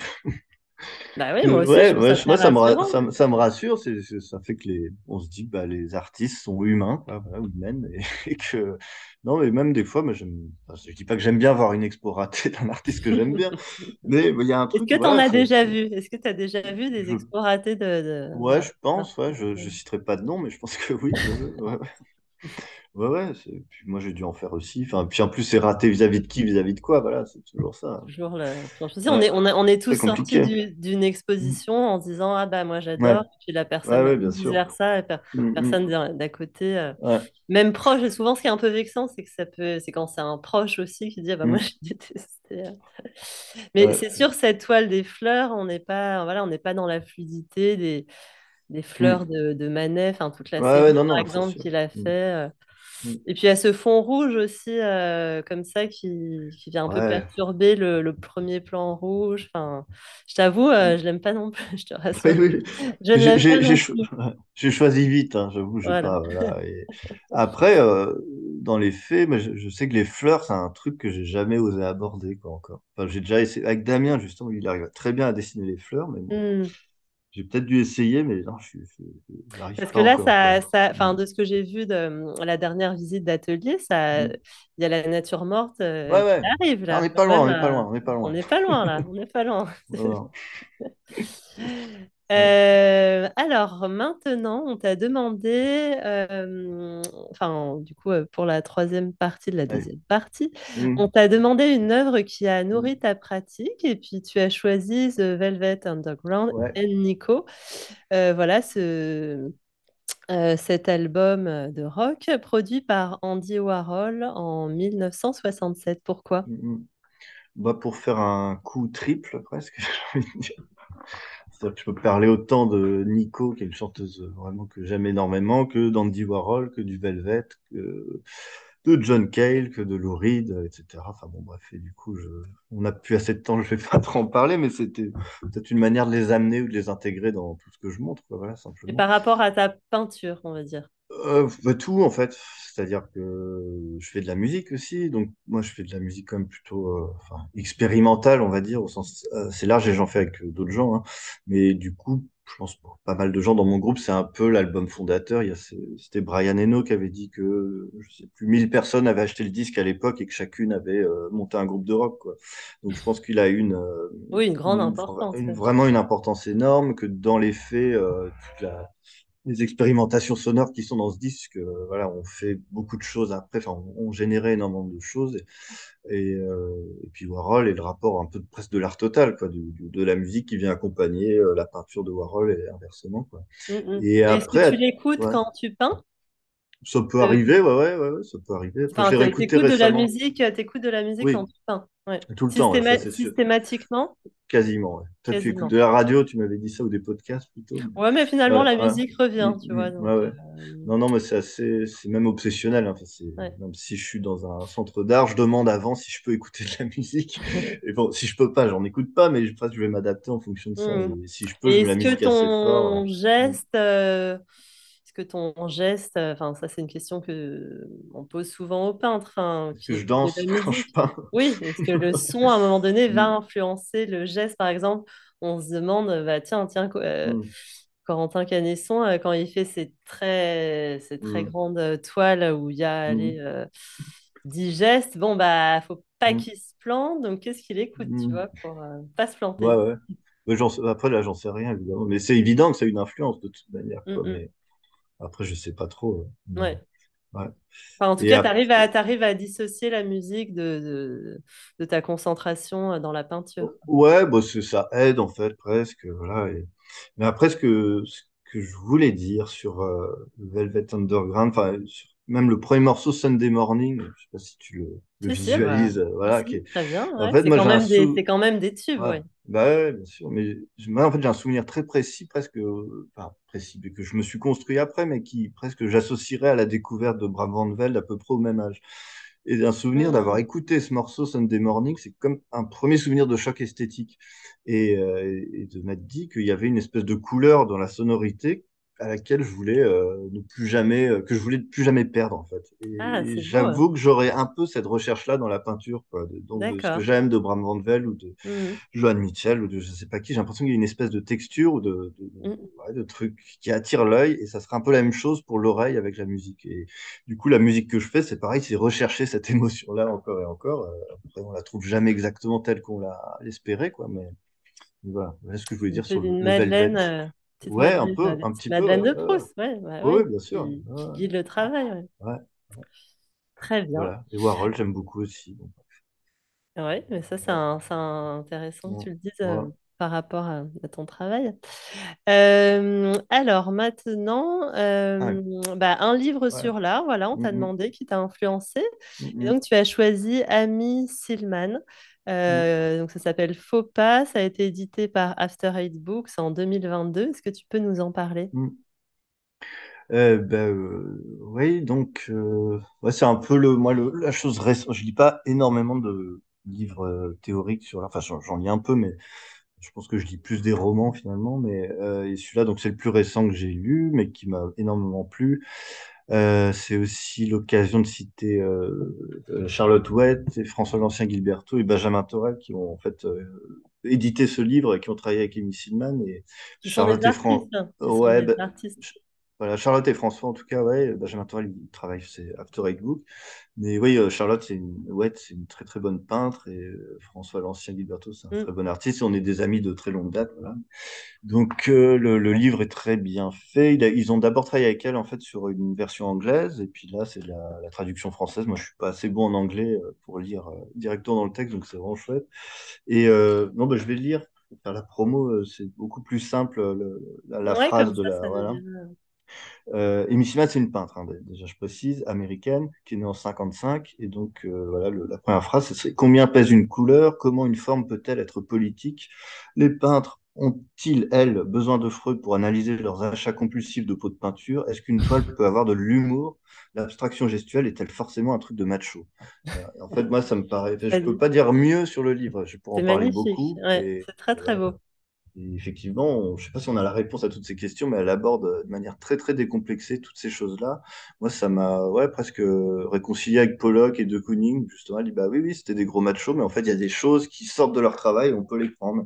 Et Mm, pour mm, autant, mm. il faut reconsidérer euh, mieux Lee Krasner ou mieux. euh, enfin, on découvre aussi énormément d'artistes. Donc, elle parle que d'artistes, c'est vraiment euh, un truc presque de, Ouais, déclaration d'amour. Il y a des lettres à Maria Lessing, des choses comme ça. D'accord. Voilà, ça fait vraiment. enfin, sais pas, ça ça fait très envie. Ouais, ouais. Ouais, et bah, je connais pas mal de gens qui l'ont lu et tout le monde a à peu près du. Chacun a ses passages euh, ouais. favoris. euh. Mm.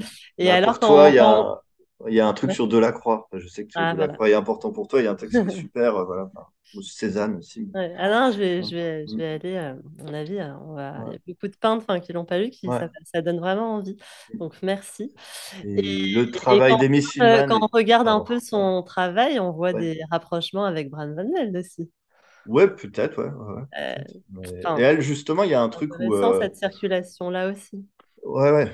Ouais, bien sûr. Et puis elle, il n'y a aucune euh, considération de, enfin, d'opposition, d'abstraction et de figuration. Donc c'est assez décomplexé de ce point de vue-là. Et moi, je, je m'y retrouve bien. Euh, il y a aussi cette idée qu'elle édite, enfin, ces textes-là ont été édités dans plein d'endroits différents, dans tas de contextes différents, mais souvent elle fait des fanzines, par exemple.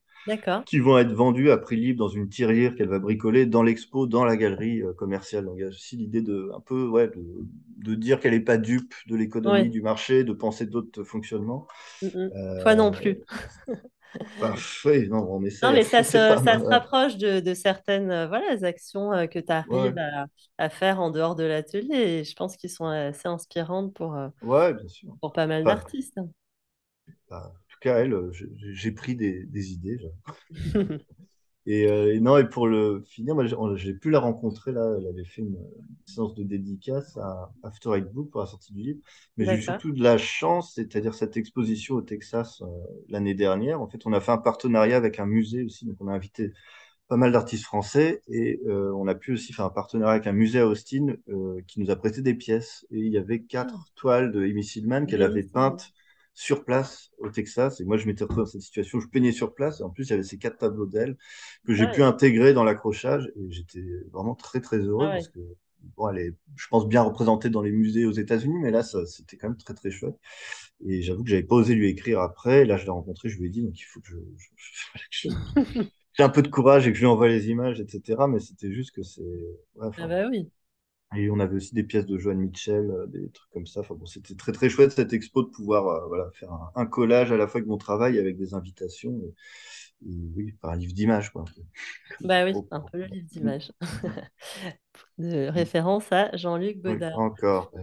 Encore et toujours. Mm, mm. Euh, alors, en peintre On continue, ouais.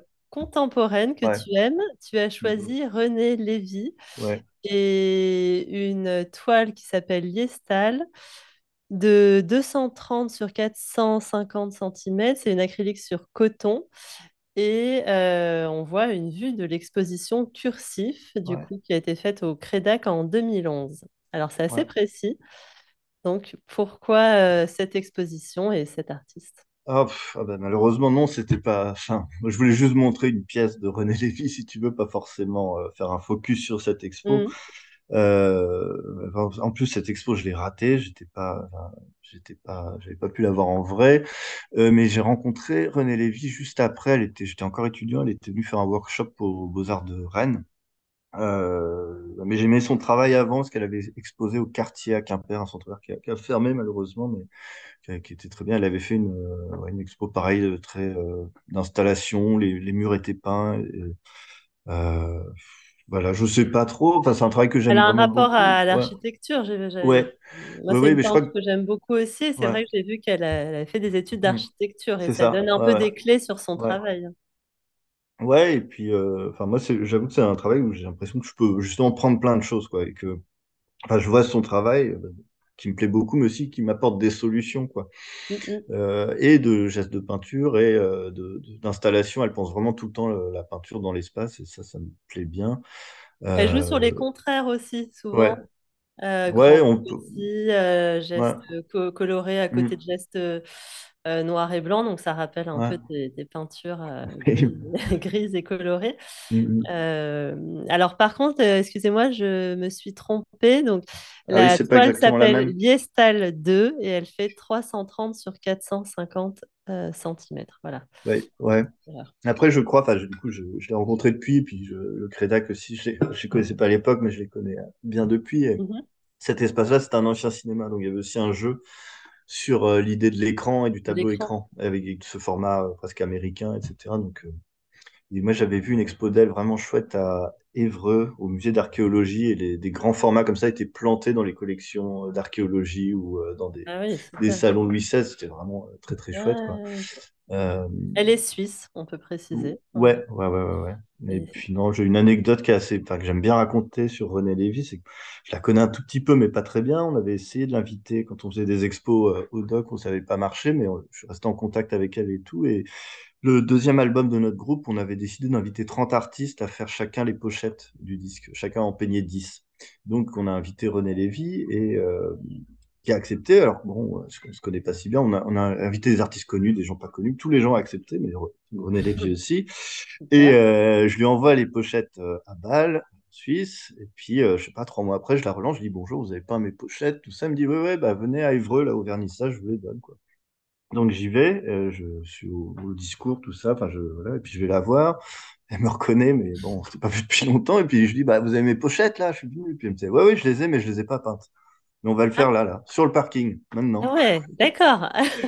Et dans, Ah sa, ouais. dans son coffre, je suis sorti avec elle, elle a planté tout le monde et on allait sur le parking. Et elle, a, elle avait les pochettes dans un sac, sa- son spray de peinture qu'elle avait choisi, et elle les a posées les unes sur les autres de manière. Bon, c'était très Ah clair dans sa tête, elle a fait Ouais. deux gestes et hop. Oh là là, Et voilà. Et c'est juste que c'est une espèce de générosité euh, comme Ah ça. oui. Et, et je me Ah bah là, on est immédiate, t'es là, Oui, là, aussi. sur le, Ouais, sur le parking, là, la ouais, sur le parking. Et j'ai vu qu'elle peignait avec des serpillères aussi. Alors, Oui, ce- ce- ceux-là, enfin, au vu certains étaient faits avec des serpillères. La peinture euh, serpillière, c'est... Bah, justement, à Austin, au Texas, un des grands formats que j'ai fait, j'ai pris un balai. Et puis, je savais très bien que c'était Ouais, une idée que je piquais à René Lévy, quoi. Mais voilà. ouais. Euh, c'est agréable. C'est qui vient, agréable, euh, hein. qui vient d'un peu plus loin, oui, je crois que Oui, ça oui, il y en a d'autres. Bah, je sais pas. Il y en a d'autres. Mais. Oui, ouais. Mais on pense aux gens, si tu veux, comme ça. Voilà. Ah oui, c'est oui. agréable de peindre avec un balai, franchement. C'est Mm, mm. très, très chouette. Voilà. Et euh, euh, oui, on avait vu, bah, en France, on l'a vu, à la... ça avait, ça avait un peu marqué les esprits à la Biennale de, de Lyon aussi. oui, je l'avais pas euh, vu en vrai, ça, ouais. ouais. Ouais, moi non plus, je l'avais pas vu en vrai, Mm, mais les, les images étaient, étaient très impressionnantes. Comme ça, des grands gestes bleus et rouges et blancs, euh, mm, avec des histoires de perspective. euh, ouais. donc, euh, en plus, il y a vraiment un truc, c'est très, très euh, préparé, quoi. Donc, il y a vraiment. préparation lente, exécution très rapide, quoi. C'est ouais, chouette ce truc, quoi. Et tu vois un lien à support surface, toi, ou? Pas? Bah, J'arrive pas à on- savoir. J'arrive pas à savoir. euh, on- quand on s'était elle montre rencontrés, souvent le dos ouais. du tableau aussi. hmm. euh. Bah, nous, quand on était étudiants à Rennes et qu'on l'avait rencontrée, on avait pu vachement échanger là-dessus avec elle. Donc, euh, Mhm. euh, elle s'en défendait tout en étant extrêmement consciente de cette histoire-là et la connaissant très bien. Donc, même si Mhm. euh, elle amène autre chose, parce que Ouais, elle amène bien après tout ça, elle, elle connaît bien tout ça, quoi, ça c'est sûr. Ouais. Mais justement, c'est. Enfin, c'est une peinture que j'aime bien parce que euh, voilà, elle ouvre aussi plein de choses. Quoi. Elle, elle plombe pas euh, dans un truc trop formaliste, même si euh, il y a quand même une bonne conscience du- de la forme évidemment là-dedans. Quoi. Comme toi. Ouvrir, pas. ouvrir les. Bah si, ouvrir le champ, euh, c'est c'est important. Alors, et donc mm, elle, elle est suisse, donc on t'a mm, demandé du coup une peinture euh, contemporaine française que tu aimes.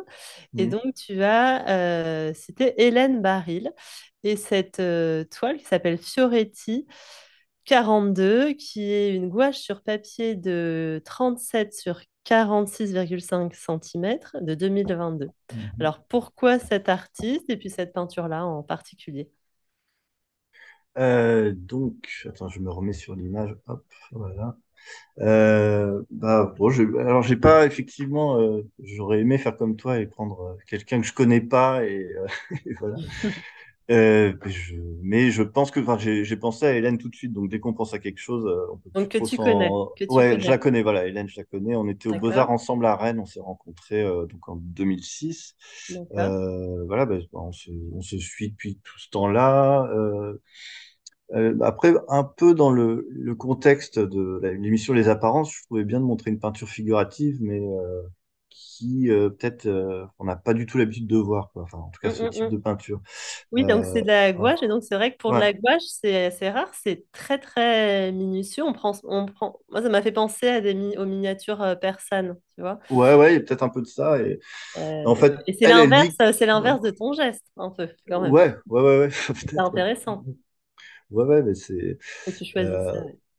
Bah, bon, j'aime beaucoup, voilà. Après, c'est. euh, j'ai choisi ça aussi parce que je comprends pas d'où ça vient, et ça, c'est toujours chouette, en fait, Ouais. d'avoir ce rapport-là avec des, des, des, des œuvres. Euh, et il y a toute cette idée qu'on a, enfin, en plus, faut, faut aller voir sur son site internet où il y a, il y a un peu tout parce que ça marche quand même pas mal en série. Enfin, ça Mhm. marche bien de manière autonome, mais, mais celle-ci peut-être moins, mais dans d'autres, il y a vraiment quelque chose qui vient du livre d'enfance, mais, euh, mais de très très loin. Donc, on est dans des choses assez étranges, mais qui rappellent et qui convoquent toute une imagerie peut-être plus liée au livre d'enfance. Et pour Oui, c'est autant, assez elle, onirique. hein. C'est assez onirique, euh, ce travail. Et elle-même, elle parlait de pointillisme en fait, mais pourtant le résultat ne rappelle pas du tout Seurat, mais rappelle peut-être plutôt justement euh, quelque chose euh, dont tu parlais de, de miniature, quoi. Mhm. Euh, qu'est-ce que je peux dire? Enfin, en fait, bon, du coup aussi, c'est que on était tous les deux étudiants de Jean-François Maurice, donc on était très très proches, enfin on est toujours proches, mais on était très proches des interrogations qu'on avait euh, bah, en deuxième, elle est un peu plus âgée que moi, mais deux, troisième année aux Beaux-Arts, et, et elle, elle a eu euh, pas mal de périodes de peinture gestuelle, de peinture peut-être plus géométrique, proche de Shirley Jaff, où ça allait assez vite comme ça. Et après, elle a même, euh, en fait, elle a arrêté les beaux-arts avant pour euh, faire pas mal de choses, voyager beaucoup, et elle faisait des performances où elle peignait sa voiture, enfin des, des choses comme Ouais. ça, où nous, euh, on était restés à Rennes comme ça, on voyait ça de loin, on était, vache, ça c'est Ouais, ouais, excitant en fait, ça. excitant, ouais, la peinture, peinture sur voiture, ça voilà, et donc ça allait, et c'est finalement, je pense que voilà, c'était en 2012, moi j'étais encore à penser la peinture euh, abstraite ou texte, et elle, elle faisait des, des, presque des dessins qui mettaient en scène sa voiture qui a prêté des performances et des vidéos. Enfin, en fait, voilà, c'était plus du tout la question de comment ou quoi peindre, c'était juste, ben, on y va, on fait, on fait les Ouais, choses comme ça, et la peinture, Mm. c'est un moyen parmi d'autres, quoi. Donc ça, euh, j'étais assez... euh, on était Ça t'a hyper... inspiré, oui, ça, Ouais, puis... cette décontraction Ouais, voilà. On était peinture. impressionnés, quoi. Ouais, ouais. Mm, mm, Bah, c'est bien, il faut, on a besoin d'être impressionné aussi pour, Ouais, ah ouais, complètement. ouais. avant Et... l'atelier, ouais. Et là, du coup, Hélène, elle est, elle est euh, plus installée en France depuis plusieurs années. Elle a montré à Pauline Perplexe des grandes gouaches comme ça. Ce petit format, les a montrés cet été dans l'espace de Crève-Cœur. C'était Cocotte, un lieu qui gérait ça. Et il y aura une expo au, au personnel au bain-douche à Alençon, D'accord, super lieu. Enfin, tout ça pour dire que voilà, elle travaille pas mal et il y aura pas mal de choses à voir. super. Et Alors, le temps presse, ouais, ouais, pardon. beaucoup, beaucoup. Mm. Alors, on va peut-être du coup, on va passer à ton actualité et après, on va aller Ouais. assez vite, euh, voire très vite aux questions. Ouais, ah bah oui. Alors, euh, donc, tu as euh, une expo collective en ce moment euh, qui s'appelle Aoul Youlé. Est-ce que c'est ça? Ouais, euh, Voilà. ouais. Autour euh, du texte peint, euh, organisé par Sylvie Fanchon et Camilla Oliveira Fairclough jusqu'au 19 mars 2023 au MRAC de Sérignan. Euh, ensuite, une autre exposition collective euh, qui a commencé, qui s'appelle Paris Peinture ici et maintenant, à la MABA Fondation des artistes à Nogent-sur-Marne, organisée par Karina Biche et Nicolas Chardon jusqu'au 26 mars. Euh, ensuite, là, euh, une exposition ou une présentation, tu vas nous dire personnelle, qui s'appelle Brécon-Brest, Canesson, Gouesnou, euh, du Mm. 4 au 24 mars 2023, donc à la mairie de Gouesnou euh, et au centre d'art passerelle à Mm. Brest. Alors ça, tu peux nous en parler. Donc c'est le projet autour de Marianne. Ouais, non, pas, pas vraiment, enfin Ah c'est tout un ensemble de choses. Enfin, c'est-à-dire qu'effectivement, je peins pour cette mairie de Gouesnou, euh, enfin j'essaye, euh, on n'a toujours pas vu qu'est-ce qu'on va faire, mais de peindre un rideau pour la salle du conseil et un portrait de Marianne. Mais en fait, à côté de ça, comme euh, le centre d'art Passerelle et cette ville sont un peu en partenariat, ils m'avaient envoyé au Pays de Galles, donc à Brecon, cette ville-là.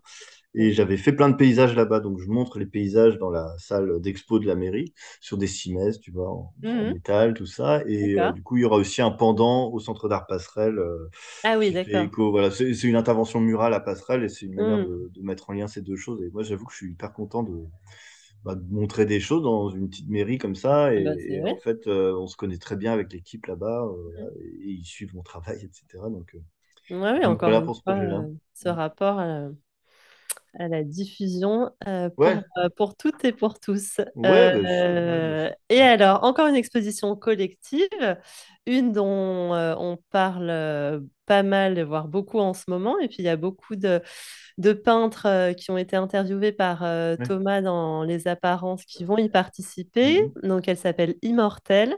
Euh, Omoko, donc pour toi, Moko Panacé. Mhm. Euh, donc là, la commissaire, c'est Anya Harrison. Et donc, c'est du 11 mars, donc euh, ça arrive, jusqu'au 5 juin. Ouais. Voilà, et donc là, il y a beaucoup de peintres, euh, beaucoup, et donc il y a deux expositions. Donc c'est le, le commissaire au départ de cette de- du projet, c'est Numa en Bursin. Voilà, et donc euh, si j'ai bien compris, il y a pour euh, il y a deux expositions avant les peintres nés avant euh, 80 Ouais. 1980 et puis ceux nés Après 1980, donc dont Euh, tu fais... euh, 85 la limite, je à crois. 85, pardon. Mm, Voilà, mm. dont tu Moi, je fais... suis né en euh, 88, donc je suis voilà, encore jeune.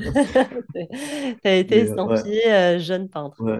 Non, non, bah, je, je suis assez curieux. Moi, je vais montrer pas mal de tableaux. Ah oui, voilà, donc qu'est-ce que une tu vas quinzaine, ouais. Ouais, bah, il y aura une quinzaine de tableaux, en fait. Et donc, D'accord. avec des choses euh, très différentes, avec vraiment des écarts. Donc, euh, j'avoue que je suis plutôt content de me retrouver là-dedans en montrant ces écarts-là, puisque bon, là, je, je fais de la peinture figurative. Je peux pas nier le contraire, mais je me revendique pas comme un peintre exclusivement Mm, mm, figuratif. Et mm. pour moi, effectivement, c'est une question juste de faire de la peinture. Mais euh, non, non, puis c'est- suis vraiment hâte de voir tout ça. Il y a plein d'artistes que j'aime bien. Et, et on Ouais, peut parler ouais, de la c'est une très troisième belle expo qui est liste. au, au Sable d'Olonne aussi, qui est à peu près le même, Ouais. même questionnement où tu participes. Donc c'est vrai Mm, que là, il y mm. a, voilà, mais j'espère qu'on va aussi Voilà, il y a enfin, juste, il il y a juste ce terme en effet de figuration qui va Ouais, bon, permettre du débat parce que souvent les mm, mm. peintres euh, ouais, n'aiment pas trop cette, euh, cette boîte euh, bien française euh, et cette euh, nomination-là. Alors, ensuite, euh, dernière expo, donc ça qui va commencer un peu après. Euh, autre expo collective, The Pasture is Ah oui. Tent, avec Hilary euh, Galbraith et ton groupe TNHCH.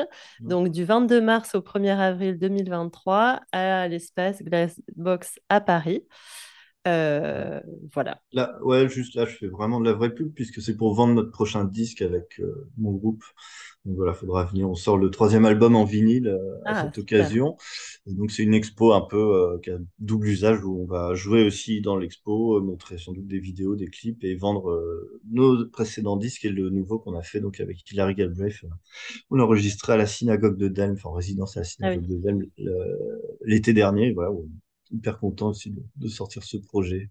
Ok. Mm. Bah, ça, on a hâte. Ouais, Alors maintenant, on va passer aux questions si on a le temps. Euh. Nils, est-ce qu'il y en a? Ah, hmm, ouais. Ah bah oui, oui, c'est une bonne question. Et oui, j'en ai un, évidemment. Enfin, euh, enfin, je sais pas trop ce que c'est que le street art, ceci dit. Euh, mais euh, je dirais l'art de rue, en fait, tout simplement. Mais euh, j'ai toujours bien aimé l'idée que euh, la peinture, euh, euh, effectivement, soit pas dans l'espace euh, d'exposition et aille dans la rue. Et donc, Après, encore anecdotique, mais quand j'étais ado à Brest, mon frère était vraiment graffeur et il faisait énormément de, tags aussi sur le port de Brest. Et moi, j'ai essayé aussi un peu de faire des choses comme ça. Donc, j'étais quand même proche de, de tout ça quand j'ai commencé du coup à peindre en même temps.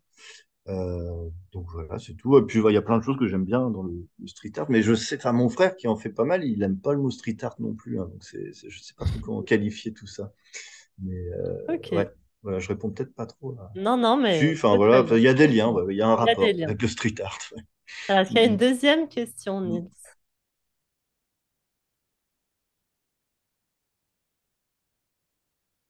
mm,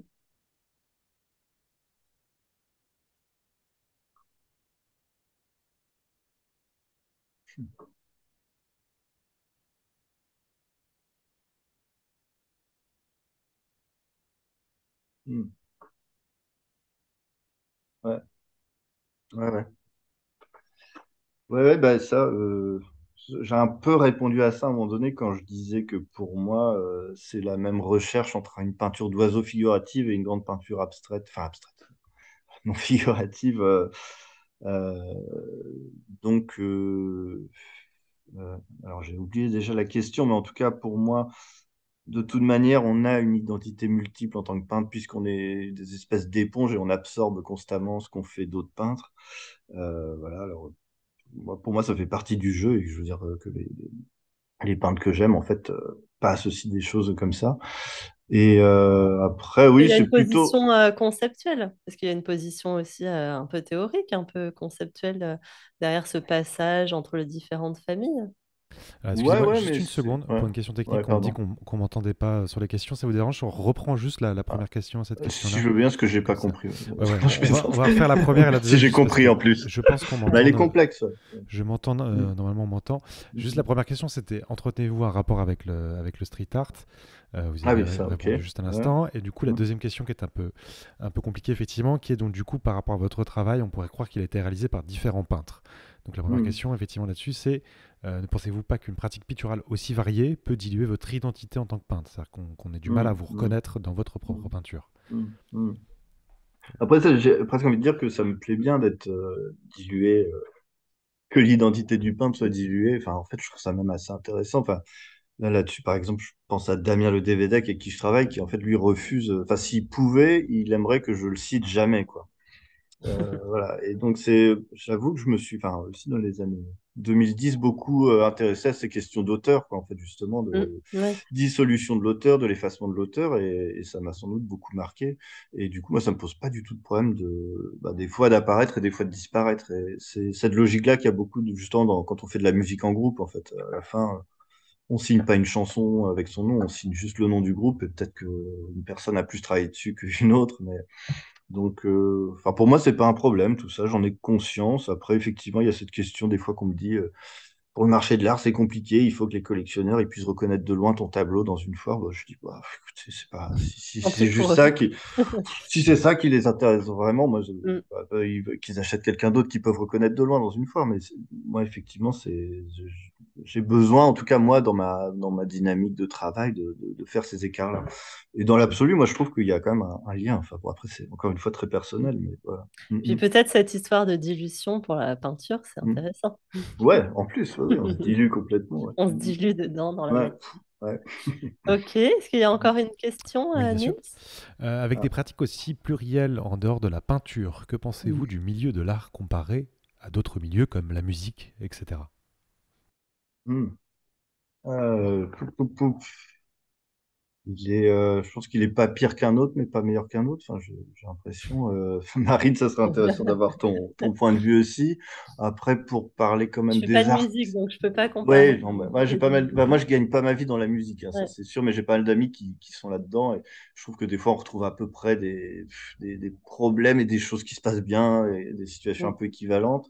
Après, pour le milieu de l'art, pour dire, je constate depuis que j'y suis que les plus euh, fragiles et les plus euh, euh, les plus pauvres, les plus précaires, ça reste des artistes et je trouve ça vraiment terrible que ça, ça, soit un état de fait comme ça. Donc voilà. Et dans la musique, justement, il y a l'intermittence et il y a des choses qui permettent. après, c'est peut-être pas si rose non plus, hein, mais, mais en tout cas, dans l'art, je trouve qu'il y a vraiment une grosse, grosse précarité des artistes, plus que d'autres personnes dans, dans le milieu de l'art, je trouve. Je trouve ça vraiment euh, pénible. Voilà. Mais les, les euh, ouais. questions sont posées depuis longtemps pour Ouais, euh, payer un artiste pour faire une Mm, exposition. mm, euh, les, les- les budgets de production sont quand même aussi compliqués. mm, mm. Bon, c'est pas une réponse à la question, mais c'est une envie de dire ça. Euh, non, non, après, je sais pas, je pense qu'il y a des, des défauts, mais ce qui est bien dans le mi- milieu de l'art, c'est euh, les gens passionnés qu'on rencontre. Et donc, ça, c'est quand même plutôt bien, même si, ouais, encore une fois, il y, a- il y a des problèmes euh, liés au travail, etc. Bon, je sais pas. Ouais. Tu as des choses à dire, toi, Marine, là-dessus, peut-être? Euh, Qu'est-ce que tu plein, penses que tu penses du milieu de l'art? Il n'y a pas assez de temps, mais bon, ouais. on fera, on mm. fera, je crois que Thomas a prévu un grand débat euh, sur ça, euh, peut-être avec tous les peintres des apparences ou quelque chose Ah comme ouais, ça, donc on verra. mais- une assemblée générale, ouais, Voilà, mais. Euh, je ne sais pas s'il y a encore des questions, Une dernière question, que Ouais. pensez-vous des rapports entre humour et peinture? Est-ce que le temps de l'humour peut être celui du tableau? Mm. Belle question. Ouais, ouais, bah, c'est euh, justement euh, Amy Schillman, elle aborde ce sujet-là dans son livre, donc euh, voilà. Euh, j'ai pas, enfin, je trouve ça bien. Euh, j'ai juste plutôt une anecdote pour répondre à ça, c'est que justement avec Damien Le Dévédec, quand on peint tous les deux, souvent on rigole énormément. Et donc quand on fait les tableaux, bah, quand il me montre ce qu'il a fait ou montre, je lui montre comment on travaille par-dessus, bah, ça arrive souvent qu'on éclate de rire. Et comme ça fait longtemps qu'on fait ça, bah, des fois on voit des tableaux qu'on a fait il y a trois quatre ans et ils sont plus du tout drôles. Ah oui. Donc, voilà, c'est. Et, enfin, je dis pas qu'ils deviennent tristes ou pas, mais en tout cas, le, le truc, et ils sont peut-être toujours acceptables ou bons, et c'est pas, en fait, euh, l'humour, c'est peut-être pas la qualité de ces tableaux, mais euh, voilà, donc j'ai l'impression que l'humour, c'est plutôt quelque chose qui est, enfin, qui est pour moi nécessaire dans le, la, la, la création, le processus créatif, on va dire, mais qu'à l'arrivée, en fait, on peut absolument pas le maîtriser, c'est juste ça, de toute façon. euh, faire rire quelqu'un, c'est, enfin, Ça dépendra ouais, de, oui, de chaque spectateur. Regarde. ouais, c'est, voilà. Mm. Donc, euh, ouais. Mais je trouve ça vraiment bien. Et des fois, on m'a fait des, des, retours critiques en me disant que ça faisait du bien de rire dans le monde de l'art, justement. Et ça me faisait très plaisir d'entendre ça. Ouais, ça Même si fait. c'est peut-être pas mon but premier, mais s'il y a ça en plus, je suis très très content. ouais. Ouais. Mais il y a plein d'autres choses, je pense. euh. Comme tu dis, ça circule euh, dans ton Mm. travail. Et moi, je pense que tu, les indices, comme tu dis, tu les as pas. Il y en a que tu as, il y en a que tu n'as pas. Et du coup, ils sont un peu égrenés euh, voilà, sur les, dans l'étoile et à, à nous Mhm. de, de- d'en refaire euh, voilà, un- enfin, ce dont on a envie de, d'en- de s'en saisir. Quoi. Bah, c'est ouvert, ouais, voilà. Et puis, C'est vrai que des fois, C'est ça ouvert. commence à m'arriver que des gens Mm. reprennent des trucs à moi, ils m'envoient une photo de ce qu'ils ont fait à partir de trucs, et je trouve ça génial, en C'est fait. super, Voilà. bah oui. Ouais, Ça finit jamais, quoi. finit jamais. Même si le monde est pas terrible, il y a, il y a, je trouve, un truc très, très positif à tirer de la, de l'art en général. Ouais. On est d'accord. Bon, bah voilà. C'était Merci super, beaucoup. Super euh, intéressant. euh, Donc, bah, vous pouvez retrouver donc euh, toute l'émission en replay sur la chaîne euh, YouTube dans une petite heure normalement. Donc, un grand merci Audrey et Thomas pour la préparation de l'émission et Nils à la réalisation. Merci beaucoup Corentin et merci à vous, bonne soirée à toi. Ouais. Et puis bah, à toutes celles et ceux euh, qui ont, qui nous ont regardés. Bonsoir à toutes et à Bonne tous. soirée. Merci.